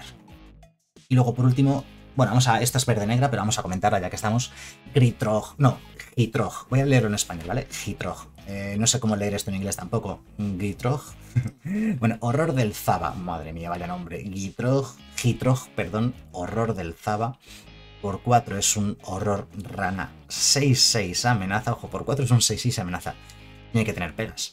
Bueno, pues al comienzo de cada combate, o sea, tanto en el turno tuyo como en el del rival, si está enderezado, cualquier oponente puede sacrificar una criatura. Y si lo hacen, el, el Hitrog se, se gira. Luego encuentras, y además encuentras una carta de tierra y la pones en juego girada. Eso solamente es O sea, es brutal, ¿vale? Poner tierras de tu mazo en juego giradas, así porque sí, es una gozada, ¿vale? Pero el rival tiene que sacrificar una criatura y girarte el hit para que eso ocurra, ¿vale? O sea, eso no va a ocurrir siempre, va a ocurrir pocas veces. Al rival no le interesa mucho sacrificar una criatura para encima regalarte una tierra. Es cierto que te gira un 6-6 amenaza, pero preferiría matártelo sobre de la mano, ¿no? Pero bueno. Dice además que siempre que una tierra entre en juego bajo tu control, gana, esa tierra gana pagar dos, girarla y sacrificarla para robar una carta, de forma perpetua. Es bastante buena esta carta, ¿eh? ¿eh? todas las tierras que vayas jugando o que vayan entrando en juego una vez que esté esto en mesa, eh, tienen esa habilidad de poder pagar dos, girarla y sacrificarla para robar una carta. Y ya digo, por 4 es un 6-6 amenaza. O sea, no sé cuánto tiene que pegar una criatura hoy en día para ser buena en estándar, pero desde luego esto parece bastante decente. Vamos a por el color rojo. Se está haciendo largo, llevamos una hora 14, madre mía, y aún queda, queda bastante. Tampoco muchísimo, ¿eh? pero aún queda. Cazahaste frenético por 2 es una criatura hechicero humano roja. 2-2 con destreza. Destreza es que siempre que lances un hechizo que no sea criatura, gana más uno más uno hasta el del turno. Cuando entra en juego, si hay 20 o más instants, instantáneos y conjuros en tu mazo, cementerio, mano, tal, o sea, si en tu mazo llevas más de 20 instantáneos o conjuros, que es fácil en una mono roja de hechizos, de instantáneos, de chispas, digamos, puedes descartar una carta. Y si lo haces, encuentras un instantáneo o un conjuro. Es buenísima esta carta es buenísima, va a pegar un salto de calidad. Ya sabéis que aquí en este canal yo ya llevo unos cuantos meses jugando Mono Red, la versión más de criaturas y la versión más de chispas. Y no son malas, de hecho son bastante buenas. La gente no las juega, eh, o sea, es, es, el mazo más infravalorado de estándar, la Mono Red, y yo creo que es el mejor los mazos infravalorados que hay en estándar. Hay muchos mazos que están un poco así como en segundo plano, que la gente, ah, sí, sí, no, eh, no son buenos. Sí lo son. Y la monored es especialmente buena entre ellos. Y creo que este cazajis frenético lo que hace es elevar la calidad a un punto altísimo, ¿vale? O sea, es que te vas a descartar esas tierras que te sobran o esos hechizos que no necesitas. Eh, es genial, la verdad que la carta. Múltiples copias de cartas que no quieres utilizar, legendarias que te sobran, yo que sé, mil cosas. La verdad que la carta es muy buena, eso sí. Lógicamente está diseñado para un mazo que sea solo de hechizos de instantáneo de conjuro, que lleven muy poquitas criaturas. Valdría para una mono roja de chispas, como os comentaba, o para una roja azul de hechizos, ¿no? Incluso una roja blanca de hechizos también podría funcionar esto de esas de, hechicería, ¿no? De jugar muchos hechizos durante un turno e intentar ganar a lo, a lo bruto, ¿no? Vale, bien, pues muy buena carta, ¿eh? El cazajis frenético va a haber juego seguro. Y si no va a haber juego en general, yo sí la voy a jugar y voy a demostraros que la carta es muy buena y que en el mazo mono rojo es una bomba. Cría temible por dos. Es un dragoncito. Cuidado que es un dragón, ¿eh? No sé si es el dragón más barato de la historia de Magic. ¿O hay algún dragón que cueste menos de dos? No estoy seguro. Bueno, por dos es un 1-1 vuela. Al comienzo de tu paso final, es decir, al final del turno, cada carta de dragón de tu mano cuesta uno menos de lanzarse. ¡Wow! Es buenísima para un mazo de dragones. De hecho, tenemos dragones de coste 4 ahora mismo, que son muy buenos en estándar, que los reduce a coste 3. Y además es al final de cada turno. O sea, es decir, al siguiente turno vuelve a darles otra reducción de costes. He visto mi sonrisa, ¿no? El mazo de dragones va a ser muy beneficiado con esta cría temible. Eso sí, claro, tienes que llegar un montón de dragones. Lo malo es que sin cría temible en mesa, tus dragones seguirán costando 4, 5, 6, ¿vale? O sea, si según la juego me la matan, luego cómo juegas los dragones que tengas en mano. Desde luego la carta me parece muy buena y la vamos a probar en el mazo de dragones, tanto de estándar como de histórico. Que en histórico tenemos el Sarkan ese que facilita jugar dragones. Así que la, jugaremos. Esta carta la vamos a jugar seguro. ya tengo cuatro copias, además perfecto. Ráfaga electrostática. Por dos, instantáneo, hace dos daños a cualquier objetivo. Vale, por dos hacer dos no es malo y luego tiene mucho más texto. Cuando lances tu próximo instantáneo o conjuro, exilias las tres primeras cartas de tu mazo y las puedes jugar hasta el final del turno. Me parece buenísima esta ráfaga electrostática porque tiene lo que le falta al color rojo que es ventaja de cartas. Por 2 hace 2, ni tan mal, ¿vale? O sea, vas a matar alguna criatura pequeña o vas a hacer algún daño extra al rival. Y luego, el siguiente instantáneo conjuro que lances te va a regalar otra carta más a elegir de entre tres, ¿vale? Eh, de entre tres que salgan del top que puede ser una tierra, porque dice la palabra jugar, ¿vale? Si lo haces en tu turno, una tierra, pues la juego. O sea, siempre vas a aprovechar esta ráfaga, esta ráfaga electrostática si la juegas bien. Durante tu turno tiro un choque a tu cabeza, ¿vale? Y miro tres cartas del top, ¿vale?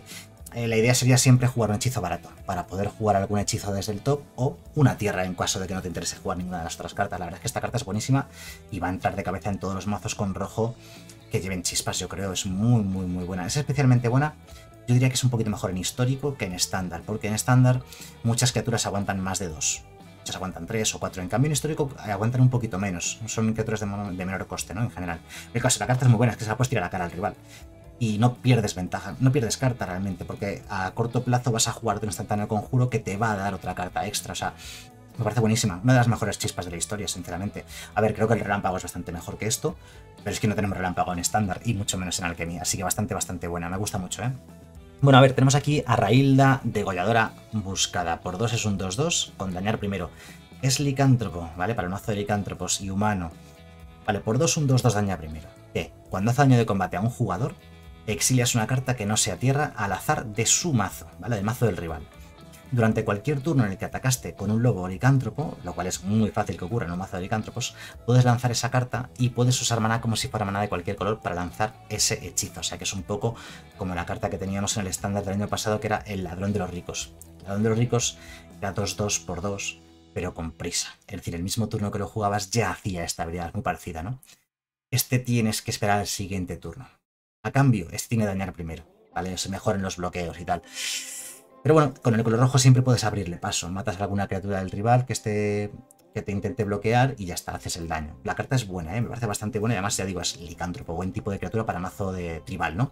Pero es que eso solamente es el principio, porque la carta hace de día cuando entra en juego, ¿vale? Porque tiene la habilidad de diurno, ¿no está explicado? Ahí está. Cuando entra en juego, se hace de día, ¿vale? Si un jugador durante su turno no juega ningún hechizo, se hace de noche. Y si se hace de noche, eh, si se hace de noche, Railda se da la vuelta. O si es de noche, y cuando juegas Railda es de noche, entra dada la vuelta directamente, ¿vale? Si es de noche tienes la parte derecha de la carta, la, otra parte de la vuelta, ¿vale? La vuelta de la carta, quería decir. Es forajida salvaje. Que sería un 2-2 con dañar dos veces, o sea, hace el dañar de dañar primero y luego el normal también. Y cuando hace el combate a un jugador, pues eso, exilas la carta que no sea tierra de su mazo al azar de su mazo y la puedes... Y durante cualquier turno que haya atacado con un lobo licántropo, puedes lanzar dicha carta y puedes usar maná como si fuera maná de cualquier color para lanzar ese hechizo. Así que bueno, una carta pues bastante, bastante interesante. Como mínimo, para el mazo de licántropos es legendaria, ¿eh? no vas a llevar cuatro copias, yo creo. Como mínimo para el mazo de licántropos es interesante. Además, al dañar dos veces, daño dos veces al rival y exilias dos cartas suyas que podrías llegar a jugar, ¿no? Em, así que bueno, una carta que es muy muy interesante, muy buena. No sé yo si las manos rojas agresivas verá juego, pero desde luego las manos rojas, o bueno, los mazos rojos de licántropos con rojo, seguro que va a entrar. Saqueador de armas. A ver, por 2 es un 2-2 que tiene libro de hechizos, ¿no? Libro de hechizos incorpora botas de velocidad, que no está mal. Veracometa de refugio cornisa, ¿eh? martillo colosal, si lo puedes equipar, mola. Estoque de duelista, daga de repuesto, todos son equipos. Yelmo de atormentador, pico filón, filón dorado, lanza de justas, máscara de inmolación, escudo con espejo, acharliquia, guantes del bribón, acero rebuscado, escudo del reino y cuchillo ceremonial. Ninguno de los equipos es brutal, pero es lo que os digo, siempre que sean cartas gratis, digamos, en tu mano o en mesa, pues bienvenido sea, ¿no? Por dos es un 2-2, no está mal. Buenos tipos de criatura, guerrero y humano. Dice que al comienzo de tu turno, el mantenimiento es uno de los pasos de la fase de inicio del turno, bueno, pues al comienzo de tu turno seleccionas eh, una carta del libro de, hechizos del sacador de armas y luego la exilias. Y hasta el final de turno la puedes jugar, ¿vale? No te, no te la da gratis esa carta, pero te permite jugarla. Es ventaja de cartas, ¿no? Es básicamente... Solamente hasta el final del turno. Pero son cartas, como veis, casi todos estos equipos han sido coste 1, ¿no? Son todos coste 1, coste 2, coste 1, coste 2, coste 1, coste 2. Así que no está nada mal. Eh, no la veo nada mal. Ya digo, eh, para un mazo de equipos de guerreros, supongo. En estándar o incluso en histórico puede llegar a ser. En histórico el mazo de equipos es creo con enanos, pero también se podría hacer con guerreros perfectamente porque hay, hay material para ello, ¿no? Así una carta bastante interesante, decente, no está mal. Yo creo que puede llegar a haber juego, o al menos dar, dar la oportunidad de crear un mazo en torno a ella, ¿no? Corriente conductora. Ya se me va a poner a hablar otra vez Google. Google, pero ¿por qué? ¿Por qué me, por qué me vuelves loco? ¿Por qué se me pone a hablar Google? ¿Qué le he hecho yo? Me oye y me habla. Bueno, Corriente conductora. Conjuro. Por tres rojos. O sea, esto sí que es casi seguro solo para monos rojas. Hace tres puntos de daño a cada criatura. Una ira de 10 roja. No está mal. Eliges una carta de instantáneo de conjuro de tu mano. Y ese hechizo gana. Si este hechizo fuera a hacer daño que no sea de combate a un permanente o jugador, en vez de eso hace esa misma cantidad de daño más 2, de forma perpetua. O sea, Dice que no sea de combate porque si tienes alguna criatura en mesa y hace dos daños, no ganaría ese más dos, ¿vale? Porque es daño de combate. Si hace ese daño en fase de combate, un ataque, un bloqueo o lo que sea, ¿no? Pero hace... Es muy buena esta carta. Ojo que se me viene la Big Red. Por tres rojos matas la mayoría de las criaturas de, Magic, ¿vale? La mayoría de criaturas pues aguantan 2, 3, 1. Sí, las hay más grandes, pero esos ya son problemas mayores, ¿vale? Si una criatura aguanta 4. Pero vamos, matas muchas de las criaturas que te puedes encontrar. Y de hecho las mata en masa, ¿vale? Pero es que eh, un instantáneo conjuro de tu mano que hacía 2 o 3 o 4 pasa a hacer lo mismo más 2 para siempre. Y eso está bastante bien. Siempre que el daño, como digo, no sea de combate, refiriéndose a daño de, de combate de criaturas, ataques o bloqueos o cosas de ese estilo. Muy buena carta. Eh, lo que no sé, ya digo, es para una Big Red, una mono red de control. Que sabéis que es mi arquetipo favorito y que en histórico hay una mono red de Chandras ahora bastante buena que la he traído aquí al canal y que ha molado muchísimo. Y esta podría ser una carta que podría entrar en ese mazo, de hecho. Podría funcionar en ese tipo de mazos, quiero decir, mazos monorrojos de control. No, eh, no creo que en otro tipo de mazos pudiese llegar a entrar, la verdad. Pero es muy buena en ese mazo. Muy, muy buena. Oh, el relámpago, por fin voy a poder jugar relámpago en Magic, en Magic Arena. Discípula de Toralf, por 3 es un 3-3 prisa, guerrero y humano, que siempre está bien, hay sinergias con guerreros y con humanos. Siempre que ataques, conjuras 4 relámpagos de tu mazo, eh, en tu mazo, directamente, ¿vale? Te los pones, te metes 4 relámpagos en tu mazo, ahí hay que robarlos, ¿vale? Pero lo bueno de esta discípula de Toralf es que es cada vez que ataque. Y como tiene prisa, según la juegas por 3, ale, ya te has metido 4 relámpagos en el mazo ya los robarás. Pero es que si consigues un segundo ataque, metes otros cuatro relámpagos más y ya son ocho. Las probabilidades de empezar a tirar relámpagos aumentan bastante. Creo que es una carta que puede ver juego, que puede ver juego en mazos agresivos con rojo. En estándar, en histórico no creo, porque en histórico hay mucha competencia y mucho nivel de cartas, pero en estándar podría haber juego en mazo de chispas o algo por el estilo. Por eso es un 3-3 prisa, no está mal. Y buenos tipos de criatura. Y ya digo, meter cuatro relámpagos en el mazo no hace nada pero si has metido 8 o 12 relámpagos, vas a empezar a robar algunos relámpagos. Y son bastante buenos. Por un mana rojo hacer 3 daños está muy bien. No quisieron... A ver, el relámpago ya está en Magic Arena, ya existía. Estaba en el archivo místico de Strixhaven, salió hace unos meses. Pero eh, no era legal en estándar y en histórico estaba prohibido de salida. Nunca pudimos llegar a jugarlo. Entonces la única forma de jugar relámpagos en Magic Arena, lo cual, bueno, al menos lo agradezco porque es una de las mejores cartas rojas de la historia, por no decir la mejor prácticamente. Siguiente carta. Ráfaga quebrantadora. Por 3 instantáneo, las criaturas y planeswalkers que controlan tus oponentes ganan. Si fueran a morir, en vez de eso se exilian de forma perpetua. Es bastante útil exiliar criaturas o planeswalkers, porque como ya sabéis, se pueden rejugar del cementerio o pueden generar sinergias desde el cementerio o algo por el estilo. Em, vale, la ráfaga quebrantadora hace 5 puntos de daño a una criatura o planeswalker objetivo. Es decir, esto por 3 de mana, a velocidad instantánea, puede matar prácticamente cualquier criatura o planeswalker del formato. ¿vale? Y además va a hacer que, eh, que se exilien. Los que estuviesen ya en mesa previamente y el que acabas de matar haciéndole 5 daños. Se exilien directamente. Creo que esta carta es bastante buena. O sea, a ver, no es que sea la bomba ni vaya a cambiar el formato ni vaya a hacer que el color rojo pegue un salto de calidad es una carta roja de estas útiles, que la vamos a ver jugar yo creo que incluso de base si hace falta, si hay mazos que, se aprovechen de cementerio y de este tipo de cosas, esta carta empezaría a jugarse incluso de base, si no, puede que se quede en banquillo para matar criaturas grandes o para mazos específicos de cementerio. Pero la carta es muy buena, Refaga Aventadora, es una de las infrecuentes buenas de la colección. Alfa de la ira sangrienta, que tenemos cuántos de estos, uno nada más, vale. Alfa de la ira sangrienta. Por 4, un lobo, ¿vale? No es licántropo, es lobo. bueno, también genera muchísimas sinergias los lobos, igual que los licántropos prácticamente. Bueno, por 4 es un 4-3 que cuando entra en juego eliges una de entre dos opciones. La primera opción es que luche con otra criatura que no controlas. Bastante buena, ¿vale? Eh, solamente aguanta 3, así que no quieres que se muera, no quieres luchar con criaturas de fuerza 3 o más, pero con cualquier criatura pequeña sales airoso. Y bueno, y si hace falta matar una criatura que aguante 4 del rival y la tienes que matar, pues bueno, la intercambias con el alfa de la ira sangrienta. No está mal, no está nada mal la primera habilidad. Y la segunda opción es que cuando lances tu próximo lobo o licántropo, veis, casi siempre es lobo o licántropo las referencias. Eh, cuando esta criatura entra al campo de batalla, lucha contra hasta una criatura objetivo que controlas. Es decir, eh, todos tus lobos o licántropos en mano, mientras tengas el alfa de la ira sangrienta en mesa, tienen la habilidad de entrar luchando contra otras criaturas. Bastante buena esta carta, creo que va a haber algo de juego. Eh, de base, pero sobre todo para banquillos, ¿no? Contra mazos de criaturas pequeños. El terror de las monoblancas. A las monoblancas te las comes con esto, porque las criaturas del mazo monoblanco pegan uno, pegan dos. Que si hace falta que peguen tres y tienes que matarla, pues lo haces, pero vamos, te vas a dar por delante la mayoría de las criaturas del mazo mono blanco y saliendo airoso. Matas fantasmas de la ruina, matas cátaros brutales. Esta carta es el terror de los mazos mono blancos, de hecho, es muy buena, muy buena. Contra ese mazo en, en particular, por eso digo que de base es una carta que se va a jugar, que es muy buena, pero es que de banquillo contra las mono blancas es brutal. Tirano arrasa, arrasa, pueblos. Por 4 es un dragón, vuela, 4-4. Lo que os decía antes, hay muchos dragones ya de coste 4 en estándar buenos. A ver este cómo es. Por 4 es un 4-4 vuela que cuando entra en juego, la tierra objetivo que no controlas pierde todas las habilidades excepto las habilidades de mana y gana al comienzo de tu mantenimiento. Este probablemente te hace 2 puntos de daño a menos que lo sacrifiques. Este es muy bueno este tirano.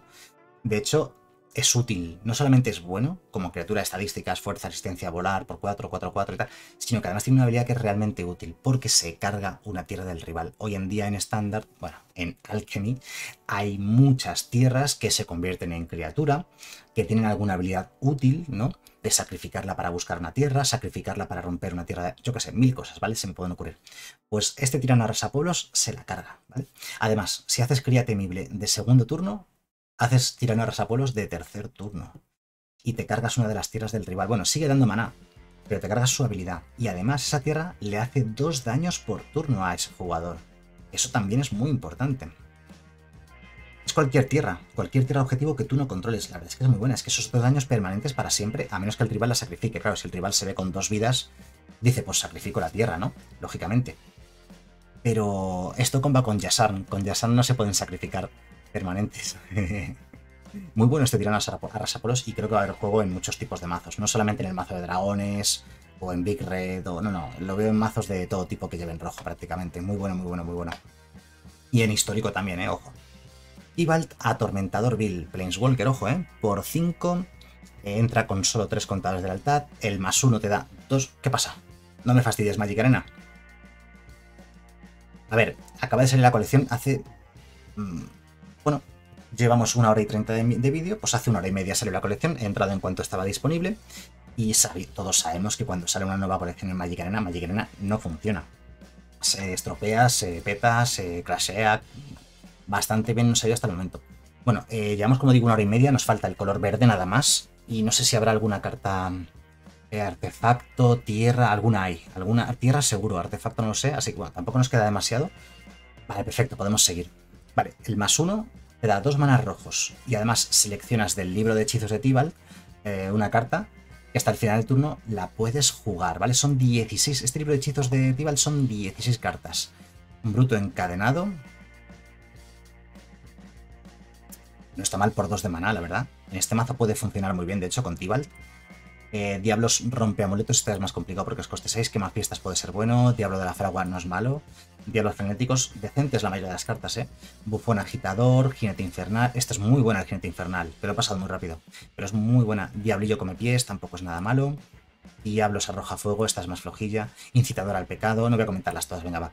Bromista malévolo, iracundo de Tibalt, demonio de la antorcha, vándalo de azufre, jugada del diablo también es muy buena, por ejemplo. Y eh, token de diablo 1, 1-1 eh, que hace un punto de daño a cualquier objetivo. ¡Wow! ¿Este cómo lo juegas? No, ese no lo juegas, perdón. Eso es la habilidad del menos X, creo. Bueno, el segundo más uno, o sea, el primer más uno me parece buenísimo, porque como te da dos manas rojos, te va a permitir jugar casi seguro la carta que has... Em, que has, eh, ¿cómo se dice? Que has eh, seleccionado el libro de hechizos ese mismo turno, ¿no? Eso está genial, el primer más uno. Cartas muy, cartas muy buenas, por cierto, ¿eh? entre el libro de hechizos de Tibalt. Son 15 cartas del libro de hechizos, ¿vale? La decimosexta es un token 1-1 que pones con sus habilidades. El segundo más uno Hace 3 puntos de daño a la criatura o Planeswalker objetivo, a menos que su controlador elija que Tibalt le haga 3 daños a él. Y si lo hace, puedes descartar una carta. Y si lo haces, robas una carta, ¿no? O sea, puedes intentar hacer 3 daños a una criatura o Planeswalker. Pero el rival puede elegir que lo reciba él en lugar de la criatura. O sea, decir, mm", pero a cambio descartas robas, lo cual es manipulación de biblioteca. El segundo más uno me deja un mal sabor de boca porque no siempre vas a poder proteger al Tibalt de las criaturas del rival con su segundo más uno, pero tampoco es malo del todo, la verdad. Eh, no sé hasta qué punto lo querría jugar, la verdad es que yo haría siempre el primer más uno, ¿eh? Casi siempre. Y de hecho, si enderezas, ojo, este Tibalt es realmente muy bueno. Hemos visto algunas cartas rojas. Hemos visto algunas cartas rojas bastante poderosas, ¿eh? Creo que por fin... Bueno, muchas cartas rojas muy buenas, muy, muy buenas. El rojo viene muy fuerte con este con este Alchemy, muy fuerte. A ver el menos X, que no hemos llegado a leer. Dice, creas X fichas de criatura Diablo Rojas 1-1, que cuando mueran hacen un punto de daño a cualquier objetivo. Así que... Así que nada, genial. La verdad es que este Tibal es muy bueno. ¿eh? Este Prince Walker sí que es realmente bueno. Es un coste 5, que ya es un pelín alto. Pero bueno, creo que sus habilidades lo, merecen totalmente. Eh, cartaza, ¿eh? este Tibal. Creo que el rojo viene muy fuerte. El rojo es uno de los colores eh, menos jugados ahora mismo en estándar. Sí, ah, no, pero está la IC de turnos. Sí, pero la IC de turnos no lleva el rojo porque el rojo sea bueno. Lo lleva como acompañamiento para las cartas importantes que son las azules, ¿no? Pero esto puede hacer que el color rojo de verdad tenga cartas buenas, que sean cartas ganadoras. Digamos que en el mazo IC de turnos las cartas rojas son apoyo y las cartas con las que gana son las cartas azules, ¿no? Las potentes, las win conditions. vamos a ver el color verde. Tenemos Cachorro tenaz, ojo, lobito por un mana verde, un 1-2, que cuando entra en juego ganas una vidita, porque sí. Cuando lances tu próximo hechizo de criatura, esa criatura entra al campo de batalla con un contador más uno más uno, un contador de arrollar y un contador de vigilancia adicionales sobre ella. Es brutal. Es brutal. Eh, por cierto, volvemos a la temática de contadores de arrollar, contadores de vigilancia, que creo que desde Icoria no había vuelto a aparecer. Yo pensaba que no iba a aparecer nunca más, pero mira, ha vuelto. Bueno, el caso es que por uno es un 1-2. Bueno, tampoco está mal, ¿vale? ¿Qué quieres que sea un 2-2? Un 2-1 podría haber estado. Es que si llega a ser un 2-1 estaría rotísimo, ¿vale? Es normal que sea un 1-2, porque es que a partir de ese punto, todo lo que entre en juego, todas las criaturas que juegues, van a ser brutales, van a ser mucho más grandes, van a arrollar y van a atacar sin girarse. Me parece brutal. Este cachorro tenaz es que va a entrar de cabeza, es que los mazos monoverdes y verde rojos. Bueno, cualquier mazo con verde agresivo va a llevar cuatro copias de cachorro tenaz. De hecho, lo veo en histórico.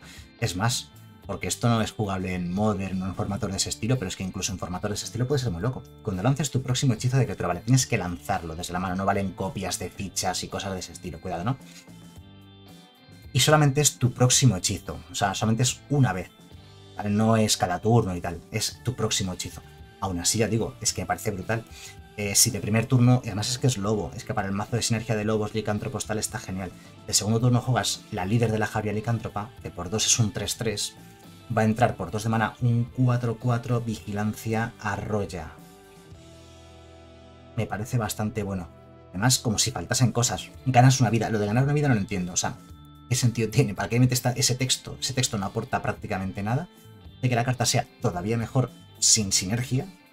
Ojo, sin sinergia, a lo mejor sí que genera algún tipo de sinergia, pero ya si puedes meter y sacar esta criatura, ¿vale? Sacarla y meterla de juego y tal. Vas a ganar vidas, sinergias de ganar vidas, que hay montones de sinergias de ganar vidas, sinergia de entrar en juego, que tu siguiente hechizo de criatura que lances va a entrar con el más uno más uno en arrollar. Esta carta se va a jugar mucho, yo creo, ¿eh? Vamos, me sorprendería que no se jugase, me parece una pasada. La primera vez que la he empezado, cuando, cuando la he empezado a leer, no me he dado cuenta de que solamente es una vez. Luego ya me he dado cuenta y aún así me parece buenísima. Es solamente tu próximo hechizo, una vez, pero ya digo, me parece justificado totalmente. Es que claro que quieres, que sea un 3-3 por 1 y que además tenga todo eso, ¿no? Está muy bien. Coleccionista de antigüedades. Por dos es un bribón humano, 2-2, que em, no puede ser bloqueada por criaturas de fuerza 2 o menos, o sea que es difícil de bloquear. Y que cuando entra en juego, las criaturas que controlas ganan de forma perpetua las criaturas que controles, incluida ella misma. No dice las otras criaturas que controlas, dice las criaturas que controlas, incluida ella misma. Cuando esta criatura muera, puedes barajarla en el mazo de su propietario si está en tu cementerio. Y si lo haces, investiga. Vale, o sea, cuando las criaturas mueren, van al cementerio y desde ahí la puedes barajar en el mazo. Y si lo haces, investigas. Me parece bastante buena. Sinceramente, ventaja de cartas tanto con ella como con el resto de criaturas. Y mirad, sin ir más lejos. Primer turno, cachorro tenaz. Segundo turno, coleccionista de antigüedades, que es un 3-3. Que cuando se muera esta o el propio cachorro, te dejan una, ficha de investigación, una ficha de pista, ¿no? Una ficha de esta de investigación, ¿no? A haces, investiga directamente, sí, que creas una pista en, en juego, ¿no?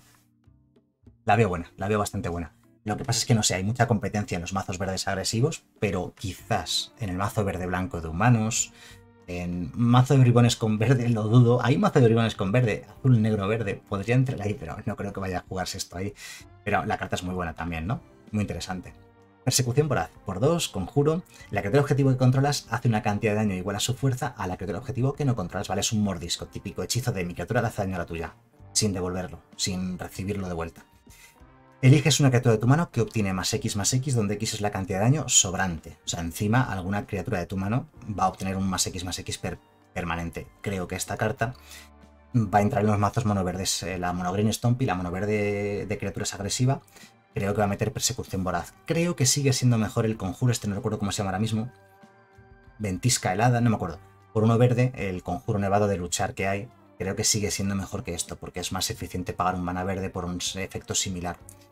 Pero va a acompañarlo. Creo que la persecución voraz va a ser jugada en estos mazos. La que se va a quitar seguramente sea el instantáneo este que cuesta 2, que tiene em, estímulo 3 y que puede hacer varias cosas y tal, que era también un hechizo de luchar instantáneo, pues creo que esto sí que es mejor que, ese hechizo que os estoy comentando. Perdóname por los nombres, que ya sabéis que soy un desastre con eso, ¿no? Carta bastante buena esta. Chef del interior. Por 3 es un explorador humano 3-3, ¿vale? Que cuando entra en juego seleccionas una carta del libro de hechizos. Y se convierte en un artefacto de comida, además de sus otros tipos, de forma perpetua. O sea, además de lo que tenga, gana ser una ficha de comida, básicamente, ¿no? Que la puedes sacrificar pagando dos para ganar tres vidas. El libro de hechizos es Hierba Mala Poderosa, arena iguana crestada, víbora de musgo, tanco arbusto, presa de las tierras altas, escarabajo caparazón férreo, todas buenas, ¿eh? Esta especialmente buena, cobra del loto, nectalera de cazandú, no son malas ninguna, esta es quizá un pelín más floja, pero todas las demás eran bastante agresivas. Gansa dorada muy buena, corni, escarabajo nisiano, muy buena esta carta, ¿eh? Colonia de Scurrit, jabalí territorial, brota de seta mortífera, rondador de esporas y mil pies tumbamos. A mi opinión en general es que lo que buscas con el libro es bastante, bastante potente. Y por 3 es un 3-3 y es humano para un posible mazo de humanos. Eh, y les da ser fichas de comida además, ¿no? No, se convierte en un artefacto... Es la propia chef, ¿no? Pero a ver. No entra en juego, seleccionas una carta del libro, ¿vale? Y se convierte en un artefacto de comida, además de sus otros tipos, de forma perpetua, ¿vale? O sea, simplemente es un extra, ¿vale? Es un extra, efectivamente. No sé si es Aquí hay una cosa que no me queda claro. ¿Se convierte en un artefacto de comida? ¿A quién se refieren? ¿A la propia chef del interior? ¿O a la carta que acabas de seleccionar del libro de hechizos? Lo sabremos cuando la juguemos. En cualquier caso, bueno. Colonizar las tierras salvajes. Por tres, conjuro, encuentras una tierra básica, es decir, de tu mazo aleatoriamente una tierra básica. Ah, eso es malo porque si tú querías un mana azul, a lo mejor te encuentra uno verde. Pero bueno, aleatoriamente una tierra básica de tu mano la pone en juego girada. No está mal, ¿vale? Por 3, ya sé que no cuesta 2 y que es aleatorio, pero bueno, lo digo porque el, el Rampant Growth, siempre que digo la palabra rampear, viene de ese hechizo llamado Rampant Growth, crecimiento exuberante en, español. Por 2, buscabas una tierra básica de tu mazo y la ponías en juego, la tierra básica que tú quisieras, ¿no? Aquí esto cuesta 3 y encima ni siquiera la eliges tú, pero bueno. Luego dice, encuentras una carta de permanente con valor de mana igual a la cantidad de tierras que controlas, y eso está genial. Eh, si tienes cuatro tierras, ¿vale? Si esto lo juegas en el tercer turno, pones tu cuarta tierra en mesa, te pones un permanente de coste 4 en mano, en mano, de tu mazo directamente, ¿no? Y ahí te pones ya pues un carruaje désica, un depredador Dulbenwald se llama, ¿no? O sea, hay muchas cartas de coste 4 muy buenas, o de coste 5, Renis 7, por ejemplo. De coste 6 te puedes meter un Borinclex en tu mazo perfectamente por si te sale el colonizar las tierras salvajes, o sea, es decir, es bastante buena esta carta. Esta carta puede ver juego en mazos de rampeo. La, veo bastante decente, como os digo. Es ventaja de cartas. Una tierra y una carta en mano. Ojo el tema de los costes. Deberías intentar meterte algo de coste 7, de coste 8, incluso de coste 9 en este mazo. Pero si el mazo es de rampeo, mm, el problema no es tan grave, ¿verdad? Porque vas a tener muchas tierras para poder jugar cosas... Bueno, de hecho, como te buscas una carta de coste 8, la vas a poder jugar con el colonizar porque tienes 8 tierras. Eh, y además tener otros aceleradores, siempre vas a poder jugar cartas. Si te la robas esa carta de coste 8, no va a ser tampoco muy difícil jugarla. Me parece bastante buena esta carta, ¿eh? Maestro de caza curtido. Por 3 es un guerrero humano, 4-3, que cuando entra en, juego puedes exiliar una criatura de tu mano. Si lo haces, buscas en tu mano y mazo cualquier cantidad de cartas con el mismo nombre y también las exilias, ¿vale? Eliges una carta de criatura de fuera del juego de la cual eres propietario. Ojo, ¿eh? Y conjuras un duplicado de esa carta en tu mano por cada carta exiliada de tu mano de esta manera. Esta carta es buenísima. Por 3 es un 4-3, ya es potente, buenas estadísticas. Es guerrero y es humano, buenos tipos de criatura. Y cuando entra en juego, simplemente tú te quitas de tu mano la criatura menos útil en ese momento, te la exilias, y, del mazo también todas. Te puedes exiliar cuatro copias, ¿vale? La, del la de la mano y la del mazo. Exilias cuatro. Y te pones... Esto es brutal, ¿no? Porque te pones un duplicado de esa carta en tu mano por cada carta exiliada. Como siempre vas a poder exiliar cuatro, la de la mano más las del mazo, eh, vas a poder pillar de tu banquillo, ¿vale? Em, a ver, a ver, conjura un duplicado de esta carta en tu mano por cada carta exiliada de tu mano de esta manera. Es que si eliges una carta de fuera del juego de tu banquillo, o sea, es decir, tú en tu banquillo, si juegas Best of One, puedes tener siete cartas en tu banquillo, que vas a tener siete criaturas útiles. ¿vale? Criaturas útiles en cada momento de la partida, ¿no? O sea, en cada, situación. Si juego contra un mazo de artefactos, en mi banquillo tengo una criatura que destruye artefactos. Si juego contra un mazo de criaturas, en mi banquillo tengo una criatura que mata criaturas, ¿no? Y te pones hasta cuatro copias, ¿no? Dependiendo de la cantidad de cartas que hayas exiliado de tu, de tu mazo. Siempre y cuando te exiles de tu mano una criatura de la cual tengas eh, suficientes copias en el mazo. Pero si no, como mínimo es una, ¿no? Es que, es que lo de conjurar un duplicado por cada carta exiliada de esa mano es lo que me, raya un montón. Porque si yo, por ejemplo, tengo en mi, banquillo tengo un cachorro tenaz, eh, con esto me puedo buscar cuatro copias del cachorro tenaz si exilio cuatro copias, la de mi mano y las otras tres del mazo, de una cierta carta. Sí, sí, estoy intentando releerlo por si algo que he interpretado mal o que tal, pero no, es así de buena. Esta carta es buenísima, está muy, muy rota. Muy, muy rota. Se va a jugar en todos los mazos con verde todos los mazos con verde la van a jugar. Eh, de criaturas, claro. Tienes que tener criaturas para poder exiliarte una criatura de tu mano y poder aprovechar su habilidad. Pero en cualquier mazo verde de criaturas, sea del tipo que sea el mazo, maestro de cazo curtido. Y luego en el banquillo, pues un, un, surtido de criaturas útiles dependiendo de la partida. Me parece buenísimo esta carta, de las más jugables del... ¿Tengo cuatro? Tengo cuatro. Tengo cuatro copias ya de nada más empezar de la mejor carta de la colección. Creo que es la mejor carta de la colección de las que hemos visto hasta ahora, ¿eh? Sinceramente. Bueno, alfa de la manada de Haste. Por 4 es un lobo, 5-4 arrolla, no está mal, estadísticas. Y dice que cuando muera, encuentras una carta de permanente con valor de mana igual a la cantidad de tierras que controlas, ¿vale? O sea, de tu mazo, aleatoriamente te pone en tu mano una carta de coste igual a las tierras que controlas, que van a ser pues 4, 5, 6. Eh, ¿Este bicho es bueno? no está mal, no está mal, lo veo jugable. Mazo de lobos de licántropos es donde puede tener un poquito de utilidad, pero claro, te obliga, te fuerza a tener criaturas en tu mazo de coste 5, 6, 7 para que encuentres alguna de esas cartas porque vas a juntar 4, 5, 6, 7 tierras, ¿no? Estamos hablando de una carta que es de coste 4, que a lo mejor te la matan el siguiente turno, tienes 5, 5 o 6 tierras en mesa, no está mal, ¿vale? No está mal, pero es que hay mucha competencia en el mazo de lobos y licántropos y no sé si esta es peor que las otras que ya hay. Yo creo que es peor que otras, que ya, otras opciones que tenemos. Y otro Planeswalker, Garruk, Ira de las Tierras Salvajes, Planeswalker, que por 4 entra con 3 contados de lealtad. El más 1, eliges una criatura de tu mano y le da más 1 más 1 de forma perpetua y te cuesta uno menos lanzarlo de forma perpetua. Bastante bueno el primer más 1. Condición, tienes que tener una criatura en tu mano. Pero bueno, no está mal el menos uno, seleccionas una carta del libro de Garruk la de los salvajes y la pone directamente en juego. ¿What? O sea, el menos uno te deja con dos contadores este Garruk, ¿vale? Pero es un Garruk de los baratos, cuesta solamente cuatro de mana. Este Garruk ya es bueno. Seguro. Porque en el libro de hechizos tienes un Goriak Musguabrigo. A ver, ponerte de gratis un 2-4 vigilancia me parece genial, vamos. Por un menos uno en el Planeswalker.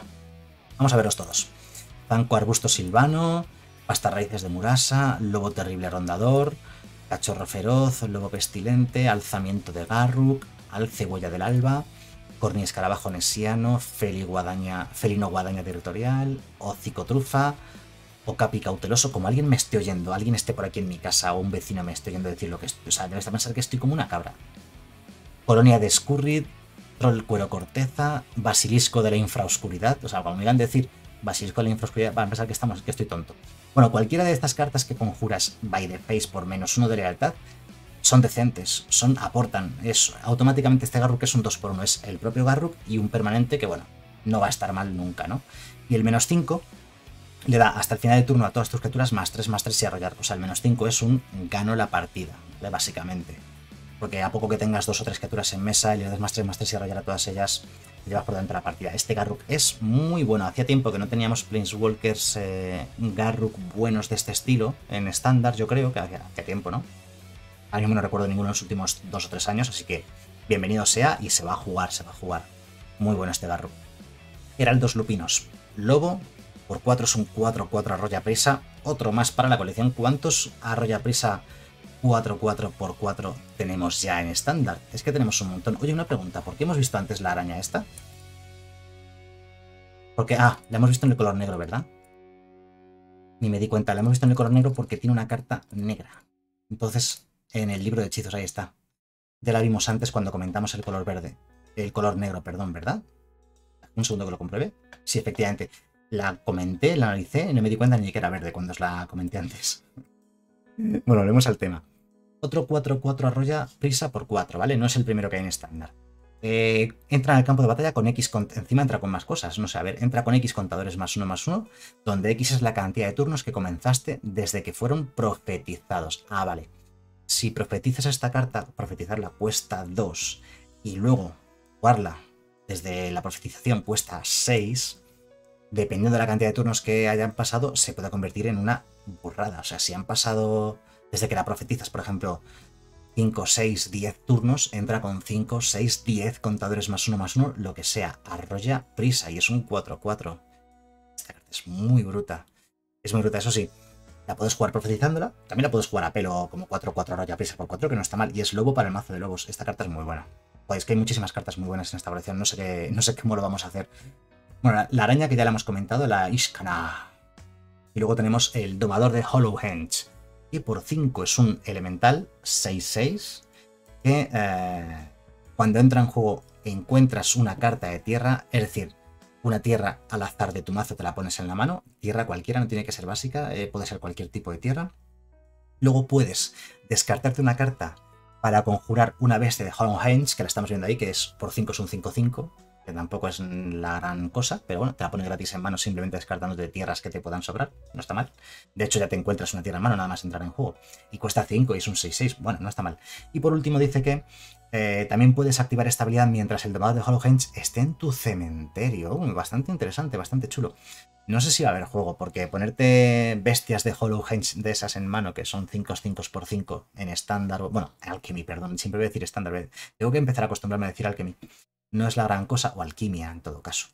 Em, entonces, no sé, pero vamos, puedes descartarte tierras de tu mano todas las que quieras y luego reanimar las tierras de alguna manera, que también hay esa posibilidad, y luego jugar estas bestias de Hollow Vale, estoy, empezando a darle vueltas al tomador de Hollow y no es malo, puedes encontrar, llegar a, puedes llegar a encontrar un mazo que aproveche estas sinergias con, con tierras y tal. Hay algunas cartas que podrían aprovecharlo. Ahora mismo, a priori, de primeras, no es una carta buena, pero es la típica carta que parece que no es buena al principio, hasta que dices, espérate, la junto con esto, la junto con esto, pongo 15 tierras en mesa y empiezo a jugar bestias de Hollow Henge a cascoporro porque tengo mil tierras en mano que me descarto y que luego reanimo o algo por el estilo.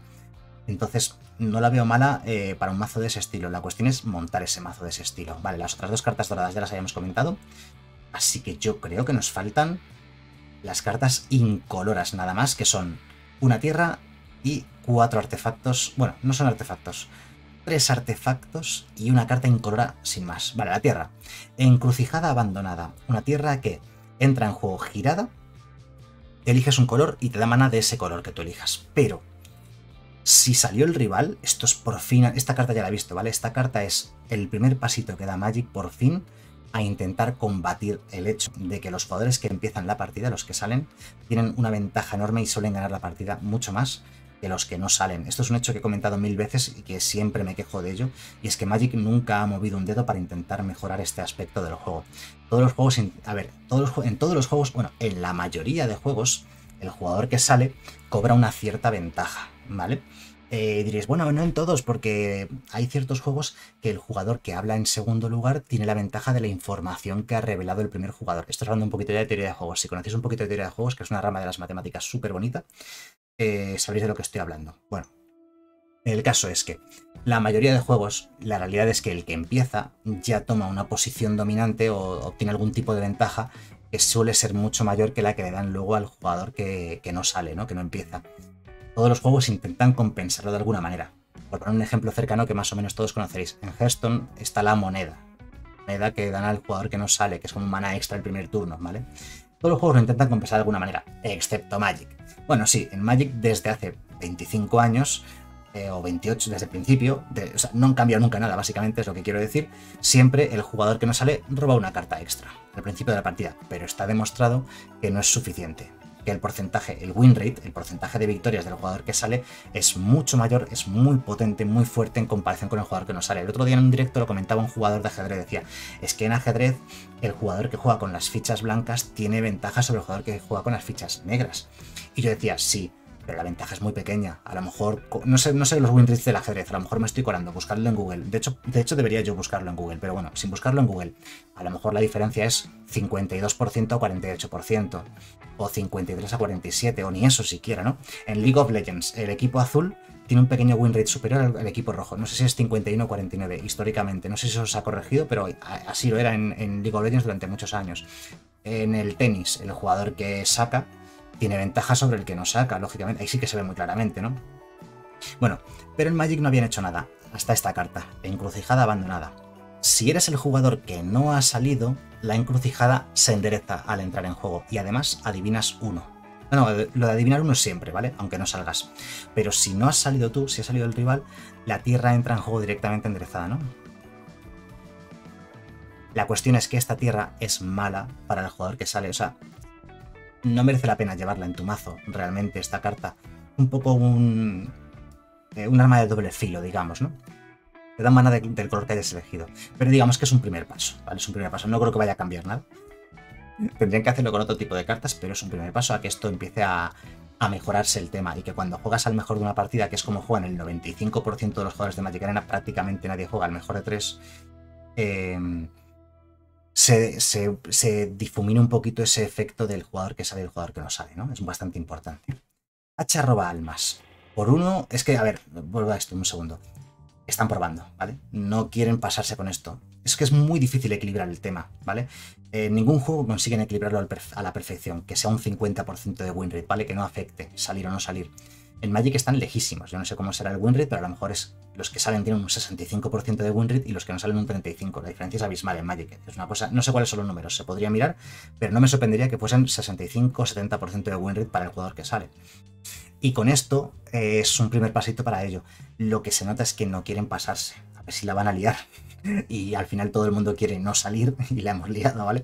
De momento está, esto es una prueba tímida, a ver qué tal avanza el tema. Yo, a ver, a mí, a mí se, mi a priori no me parece que es una carta que vaya a cambiar demasiado. Lo que veo sí puede ser es que o todo el mundo juega cuatro copias de esta tierra o nadie juega ninguna pero no veo un término medio, ¿sabes lo que quiero decir? Como que va algunos jugadores y otros no. Creo que o todos o ninguno. Y ese es el problema de equilibrar estas cosas. Que cuando algo es mejor, pues es mejor y todo el mundo lo quiere. Y cuando algo es peor, nadie lo quiere, ¿no? Entonces, ya no es una cuestión de gustos, sino es una cuestión de eficiencia, ¿no? De una cuestión matemática. Punto. No hay más vuelta de hoja.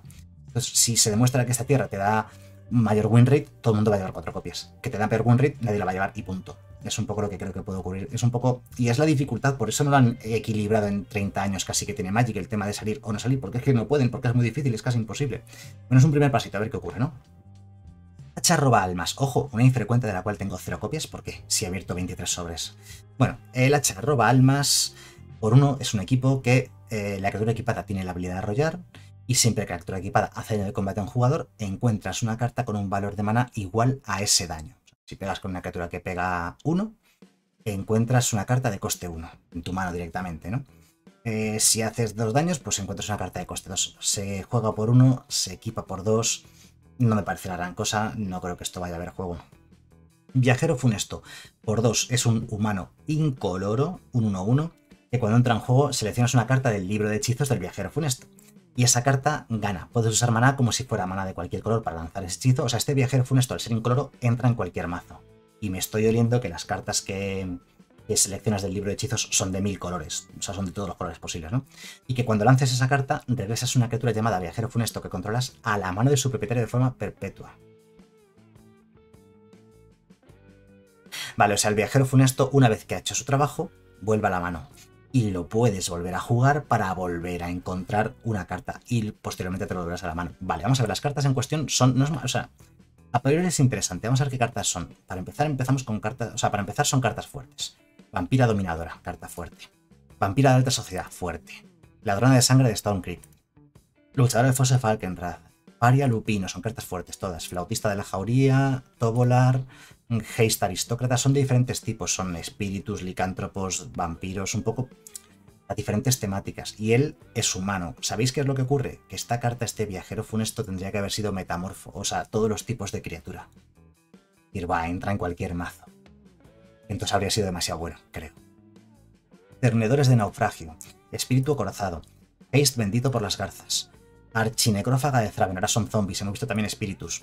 Campeón de los muertos, jinete sin cabeza, muy buenas cartas. Escap, armas suturadas. Eh, muy buenas cartas, las cartas que conjura. Bueno, que seleccionas del libro de hechizos. Es la forma correcta, claro, que tienes que invertir dos de mana y luego a la mano una vez que juegues dicho hechizo para poder jugarlo. Pero no está mal. Sobre todo, ¿con qué más me triunfa esto? ¿Con qué me funciona? Con sinergias, con trucos, con combos en general, ¿no? Si puedes subirlo y bajarlo, si puedes eh, exiliarlo y devolverlo al juego, y entonces la habilidad se empieza a disparar y ganas mucha ventaja de cartas. Pero es un poco lento en cuanto a costes. Y la, poca certeza de los tres hechizos que te van a mostrar al azar.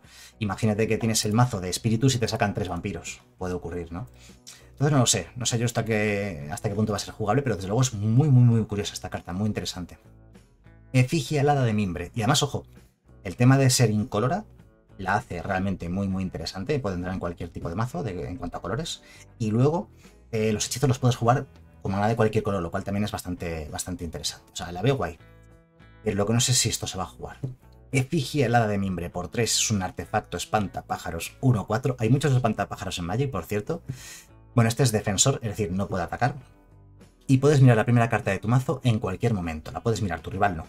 Y puedes lanzar hechizos de criatura desde el top del mazo. Eso es bastante bueno. A ver, por 3 es un 1-4 defensor. No puede atacar y aguanta bastante, la verdad aguanta 4 pero pega solamente uno. No es muy útil en ese sentido, pero poder jugar criaturas desde el top de tu mazo es muy poderoso, ¿vale? Muy poderoso, te puede dar mucha ventaja de cartas.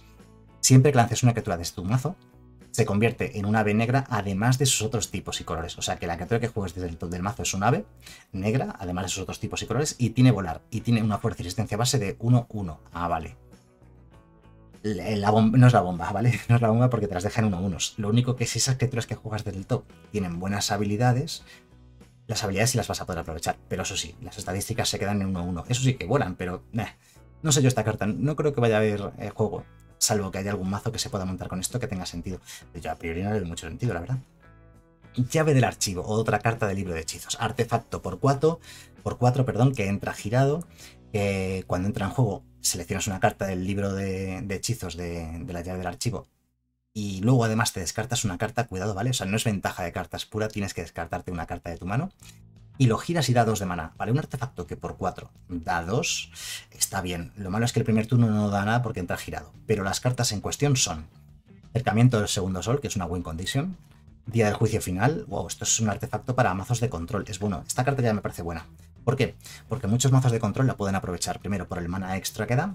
Y segundo porque te va a permitir eh, seleccionar una carta útil. Ya digo, acercamiento del segundo sol, win condition. Día del juicio final, removal masivo. Distorsión temporal, what? Turno extra. Esta carta está prohibida, ¿eh? Y el contrachizo, o ¿cómo? ¿Quién está prohibido? Te da dos manas de cualquier color, o sea, es decir, te va a permitir jugar eh, las cartas siempre esta llave del archivo. Buenísimo, el contrachizo es el mejor contrachizo de la historia. Bueno, no es el mejor, pero es de los tres mejores. Eh, la distorsión temporal está prohibida en histórico. Esta carta está prohibida en histórico.